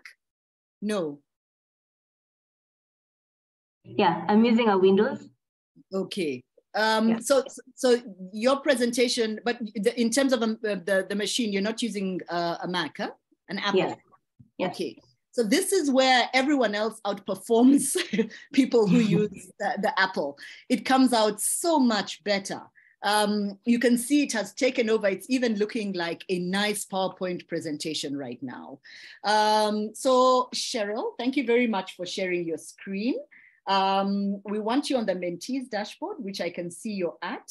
Um, So let's keep this interactive. Some people can speak if you want to. Um, if not, you can put your answers in the chat box. So Cheryl, can you Yeah. please help us uh, find out how many mentees were registered in, in Botswana? Where do you see your answer? Registered. Mhm. Yeah. Okay, so your registered is actually on your main page. Just um, just go back if you don't mind. Um, hmm. That arrow, the arrow at the back, at the top, top right hand. Uh, no, the other side. Uh, okay. Above that one, above info field. The little, Um, the little arrow. You see where 2 March 2023 is? mm, where am I Um, looking at? Look at the date uh, updated to March 2023. Mm-mm. No, no, at the top, just above info field five. Sorry, above what? Okay. Okay. Here. There's an Um, arrow just above that. No, no, no. The arrow just above um, info field five, next to updated to March 2023. Yeah, so um, there's this bit, um, since I'm on presentation mode, there's this uh, bit that appears on top with the mute start video. So I'm trying to see if I can um, push that aside. I'm Oh, able to it's- it's- beyond Yeah, that. it's interrupting you. Um, Can you can you drag it away? Just drag it, push it to the side. It will move. Ah, great, Okay. Can you see that little arrow now? Yeah, perfect. great, Yeah, yeah, sorry. Yeah, perfect. Just click that. okay. Yeah. So when you're looking for registered data, do you see where it is? Mm-hmm. Yeah, Yeah, perfect. So how many do we see? uh, 235. Okay. So this is the tip for you. When you're looking for summary data, always look at the main page. Okay. Um, Question to Cheryl and anyone else. How many mentees participated in Portugal? Participated. 42. Very good. How many mentees graduated in Uganda? Uganda mm-hmm. graduated. 447. Fantastic. Okay. Um, and what was the graduation rate for Brunei? Okay, so Brunei was 86%. Fantastic. So the lesson here is anytime you're looking for quick summary information about a country, you stay on the main page. Are we together? So now let's Yes. let's Yeah. test it a bit. Okay. Um, we're now going to investigate country data. We're going to go down to cohort level. So Cheryl, in Kuwait, Yes. So I click on Kuwait. exactly in Kuwait, how many cohorts were active and graduated mentees?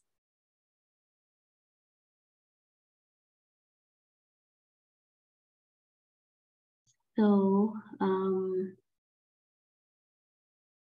How many cohorts do you see? one cohort.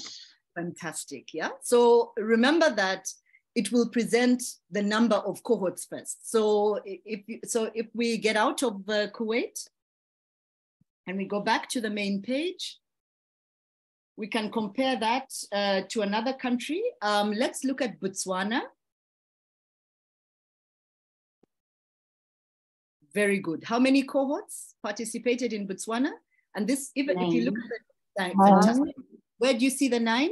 How did you get uh, your answer? At the top. Yeah, the top. Yes, yes, you've been paying attention. So question, um, and the rest of you can participate by putting the answers in the chat box. Um, Cheryl, which cohort had the highest graduation rate? So let's make sure we can see all the cohorts nicely. Thank you. Which cohort had the highest graduation rate? What are you looking at? Young professionals cohort. The highest graduation oh, rate. Um, Anyone else? The Marang, is that Marang? Why do you say Marang? Go up. It appears. Is, is that the registered? Okay, the, the pinks are different. I'm sorry, graduated. Okay. Yes. How it's do you know that Aha. Why is it Orapa? Uh, 95% uh, graduation rate.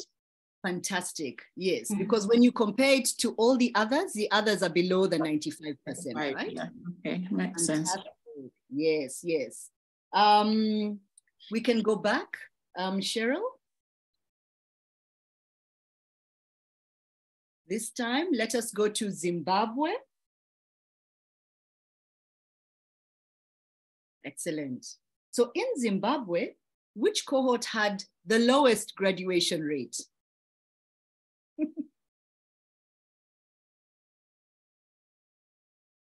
it's a trick question, huh?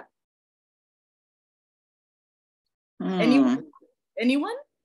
Where's what is how many cohorts do we have? Let's always start there. How many cohorts do we have in Zimbabwe? We have two. We have two. They all graduated. And yeah, but and what rate did they graduate at? Uh, I can see the hundred percent. One hundred percent. Fantastic. Um, Siadimo, you can't see. Eh? You're saying you can't see. Yeah, the, the number. Okay, you can, can see the see number. the colors very well, but the number is the numbers. Okay. okay. So um, Cheryl, let me show you. If you go down in because in Excel, just go down and let's see if we can expand your your presentation, or maybe we can't. Just scroll down. Can you see your? Oh no, because you're in presentation mode. So you know that in regular Excel, you would be able to you would be able to increase the size of your font so that Siadimo would have been able to see it. So this was a trick question. Um, I asked which one had the lowest graduation rate, whereas in Zimbabwe, both cohorts had a 100% graduation rate. Um, Cheryl, let's go back to the main page. Thank you. And then the last question I'm going to ask you is going to come from South Africa. Thank you. Okay, how many cohorts do we have in South Africa? 11. 11. Can you tell me what was the graduation rate from Studio 353? Uh, 93%. Fantastic. Okay. Okay. Um, right. So thank you so much, Cheryl. What do you, what does it feel like? You think you can navigate and you're comfortable with it? Yeah, it feels actually it feels it feels good navigating it. I actually like how the platform is really interactive and easy to navigate around. So Excellent. yeah. Excellent. And hopefully you will be able to do this, huh? Yes, I will.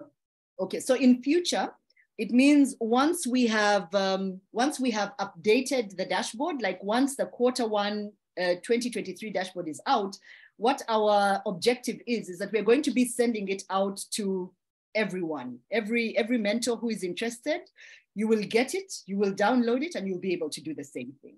Okay, so please keep using the dashboard, give us feedback so that we can see how to improve on it. I'm asking for a second volunteer. Anyone else that wants to try? So that now we can try and look at, uh, drill down to mentors data. Anyone?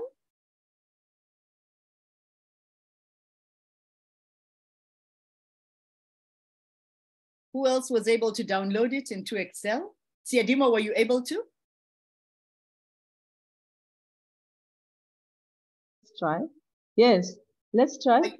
Okay, please share your screen. Uh, how do I share now? Uh, at, at the bottom, there's a little, uh, it's, it's like a square. Yeah. with uh, an arrow inside it. Uh, I should go back. Yes, click on that. And then you will share your. With a, sorry, which one? Um, at the bottom, This if one? you're looking at Zoom. I- I've you know, I seen the arrow, the green, the green Yes, arrow. the green box with an arrow inside it. Click on that. Yeah. It will say share screen. And then you will probably be seeing many windows in front of you. Yeah. Click on the, the dashboard one and say share. Aha. Fantastic. Well done. Now, let us also optimize your, your viewing. You see that uh, the, the four arrows at the top right-hand corner? You can click on that. Yes. Fantastic. So click on that. Uh, Cannot run the macro. Yes, you had not enabled I your not enabled. Oh, Yes. So what you can do, you can close your your the the dashboard. Then you're going to open it again, and we're going to enable for you. So uh, don't you can say don't save, yeah. Okay. So close it. Don't save. Mhm. Okay. So you can go to where you had. Um, so maybe stop sharing your screen again, just so that it's not confusing for you. Oh, oh, okay. Yeah, share streaming, so I'm stop sharing. Mhm. Eh. Oh. It's taking me forward, not backwards. Mm.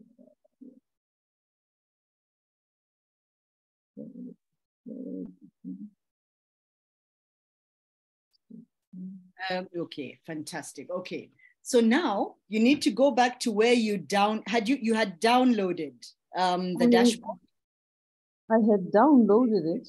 Okay, now try opening it and remember that when you open it, enable the content.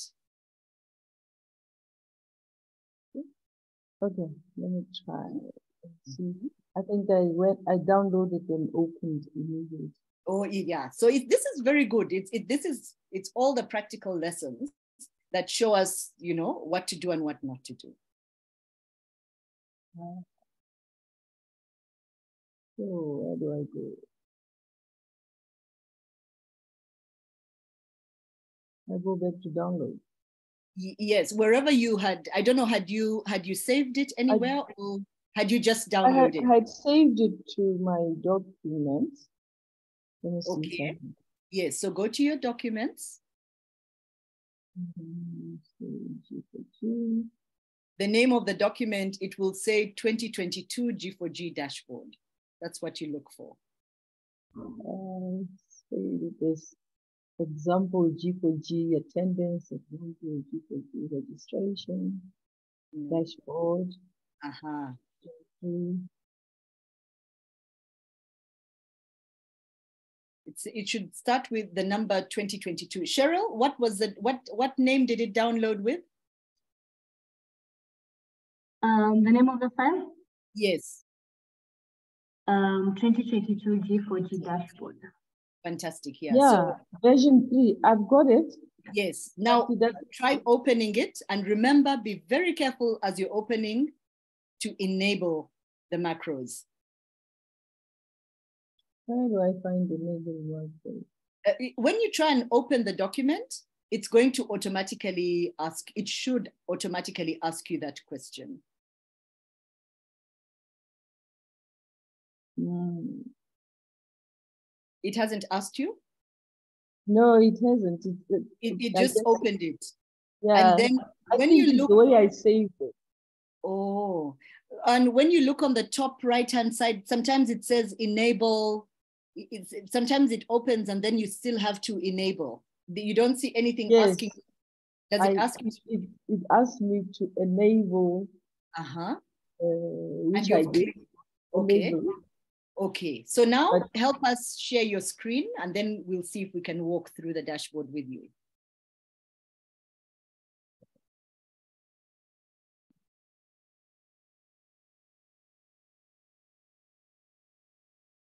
And also a note for everyone, um, the, the, the dashboard requires a full Excel. Um, we know we deal with a lot of students and sometimes people have um, the, the free micro, the free Excel. And sometimes uh, not sometimes the free excel will not allow you to, to to do these types of things. Or if for instance you have not updated your excel with the latest version sometimes that's where we have problems. Okay now okay. we can see the dashboard now let's try and see if it's drilling down um, uh, could you try try try try clicking on on uh, uganda let's see what happens or whichever country you want let's test it yeah. Yes, your macros are enabled, madam. Oh, so you can, yes, you can click that arrow at the top. Let us go back to the front. Yes, that one, great. So now, Ms. Yadimo, you are going to take us to the mentors dashboard. Do you see the button that says go to mentors? Yes, there you go. Okay, so now I would like to find out how many were mentors were active and completed mentoring um, under the following cohorts? In Malaysia, mm -hmm. just scroll a little bit so that we can see optimally. There's a cohort, G4G X Tailors.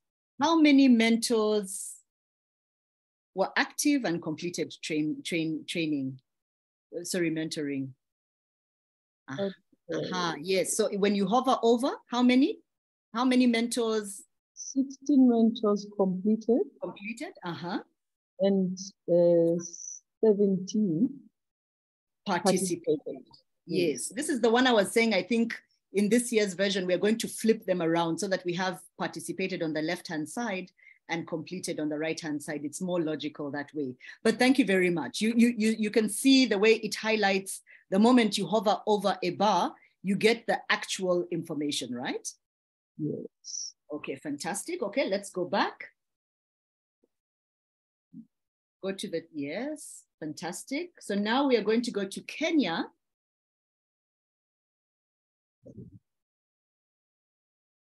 So um, hover, um, move over, yeah, ah, perfect.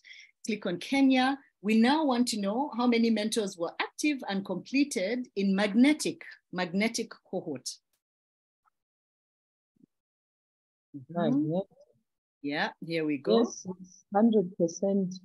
Yes. Oh, yeah. Yeah. yeah. How many? Mm -hmm. Four and four, four is it? Four. Yes, fantastic. Okay. Now let's go back to the front page. Very good. Now we want to look at the mentors trained data. Do you see the little button that says mentors trained? Yes. Aha, fantastic. Okay. Can you tell me, as of December 2022, how many mentors had been trained in Uganda? So scroll down. Mm -hmm. Yeah. Over. 472. Fantastic. What about South Africa? 244. Excellent. And Zimbabwe? There is no Zimbabwe here. Exactly. I think you know by now. I'm always having this. But you, you know why I put that there is imagine you're the country team lead for Zimbabwe and you're like, yeah, let me go and see how many mentors have been trained. And imagine your disappointment. You come here looking for your country and it's not there. So the point I'm trying to make is that if you don't report, the dashboard cannot tell you. Yeah. So you can close and you can go back to the front page. Yes. Okay. Okay. So we are done. That was the homework. Um, yeah. Well, how do you feel, Siadimo? I'm very proud. I feel you. clever. can you believe it? I can't believe I can do it. I, I, I, must tell everyone. So everyone, Siadimo is a director with G4G, but she's one of those people. She never wants to be the one to touch. She wants Rita to be the one to be pressing and things. So um, I must tell you, I'm so proud of my clever friend, who I know is very clever, but she just, I think, I've been a bit intimidated by technology. But I think it means the next time when I send you guys the dashboard before the board meeting, you're going to come super clever. You might even present the data ahead of M&E, right? I'm going to show off.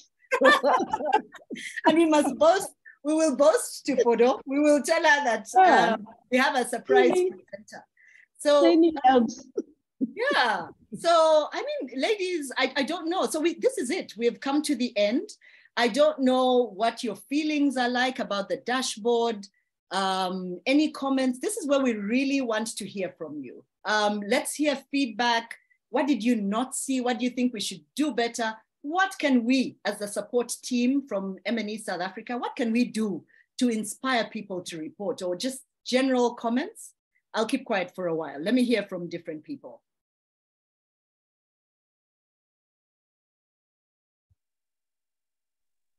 Hi, Rita. Hi, Mercy. Yes, uh, I think I have three comments. Uh, first is uh, thank you for taking us through um, the session. It's been quite interactive. I think for me, it's uh, so with Kenya, we have the M&E committee, uh, but I, at the back of my head, I've been wondering how do we better engage the M&E committee? Like this is really nice that I see some of the members have been able to attend this session uh, but moving forward, because uh, as the coordinator in Kenya, what I've been able to do is reach out to the directors. We have Betty who fills out uh, the mentors trained, the mm-hmm. quarterly trained form, and uh, Mary who fills the other form. Oh, no, sorry, for the cohort, we do reach out to the cohort leads directly. But other than that, uh, you find that we have mentors who are interested in joining the M&E team, but like how to involve them actively is where um, I kind of find it hard. Um, the second thing is I was actually able to open the dashboard using um, free Excel. It was a bit, um, uh, there's a bit of a way around it, just going to settings and saying, I trust the source, and you're able to, to actually use the, the dashboard interactively. Okay. Um, got the third thing, but I'll let you know as soon as I remember. But yeah, I'm keen to know how we can better engage uh, the M&E volunteers that we get to add in the group. Okay. Um, so have you, you, you have a WhatsApp group you routinely engage, yeah? With, with the group? Have you got like a little WhatsApp group within Kenya? Yes, yes, we do. Okay. What do you talk about or what do you do as the M&E committee on that now that's the thing. I have uh, engaged mentors who are interested in m&e and for mm. example Eric is one of our new mentors right? Okay. Um, so in my head i'm wondering how do we move forward with this? Because um, from a high level i get to engage with the directors in filling out the forms and the cohort leads. Uh, but with the team i'm not too sure how uh, yeah because i mean the dashboard was um, shared and that was about it. So I'm trying to see how I can better engage both the directors and the M&E volunteer team. Yeah. Okay, so it, it's about creating ownership. Find things that you can do that pe when people do them, they see the value coming out of it. So, for example, the M&E team, you can train your cohorts. Huh? All these presentations, we're going to share them with you. This same video, the one from March, we're uploading it means, and we give you the materials as well. It means that rather than, you know, waiting for, for the next training, you, Team Kenya, M&E, can actually now do this same training that you've seen Oratile, Karabo, and myself doing. You can go and run it in Kenya. So first of all, that means in your own small community, you can do it. The other thing is share the results of what people do. So if a cohort coordinator is reporting and they're not seeing, okay, I reported, then what?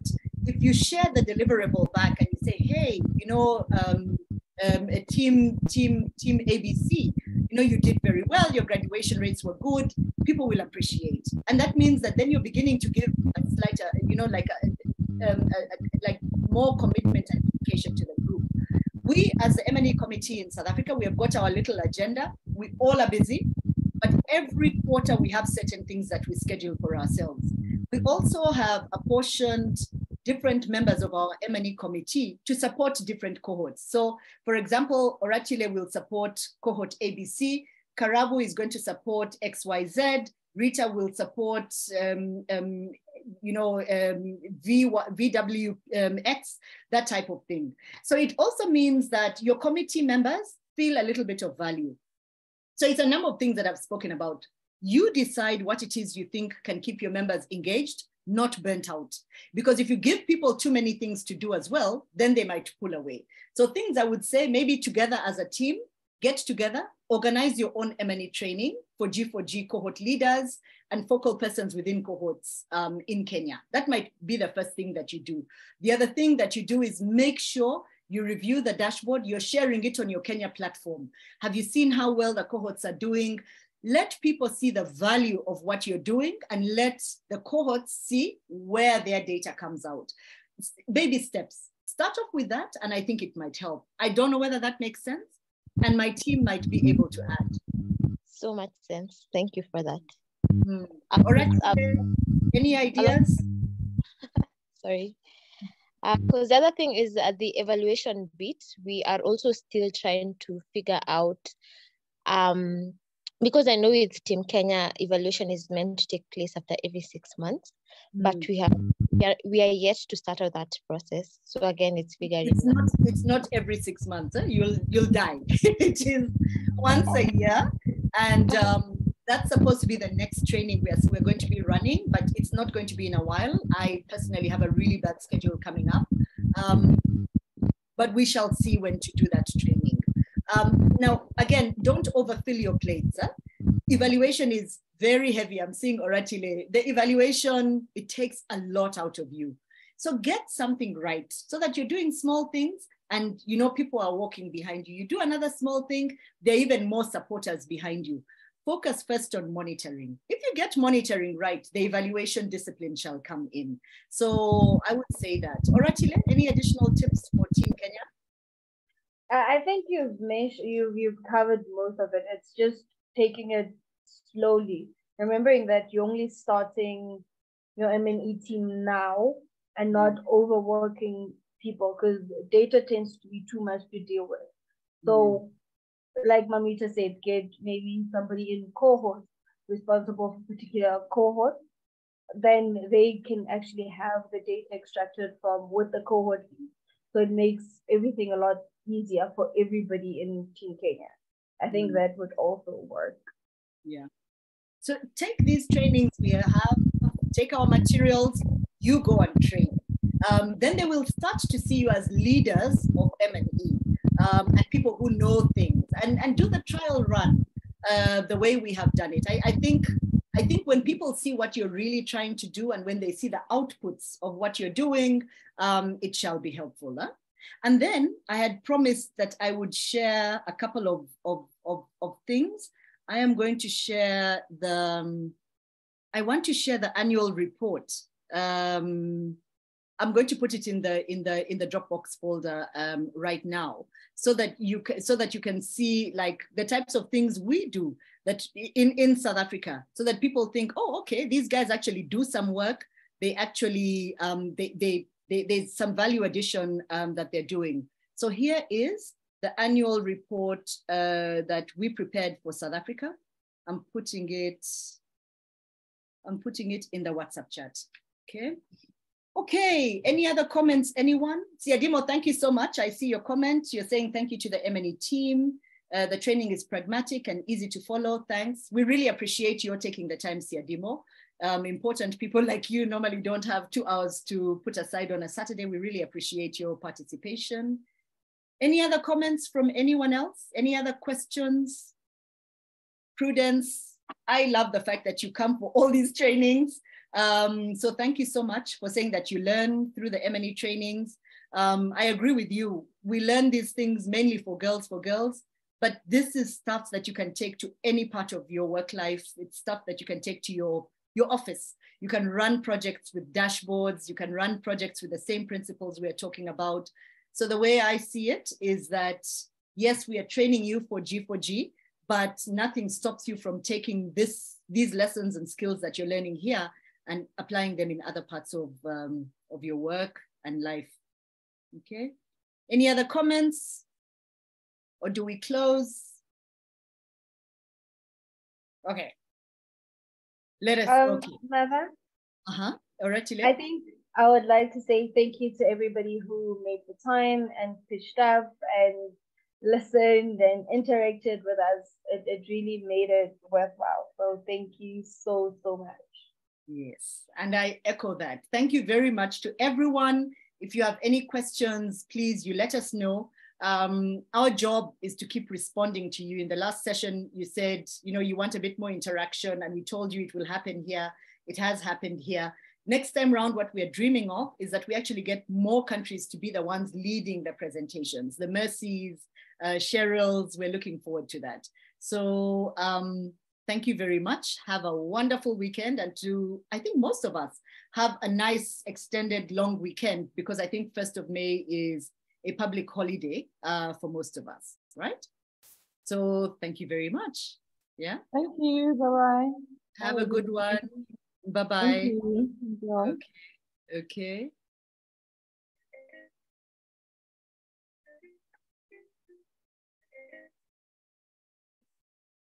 Hello,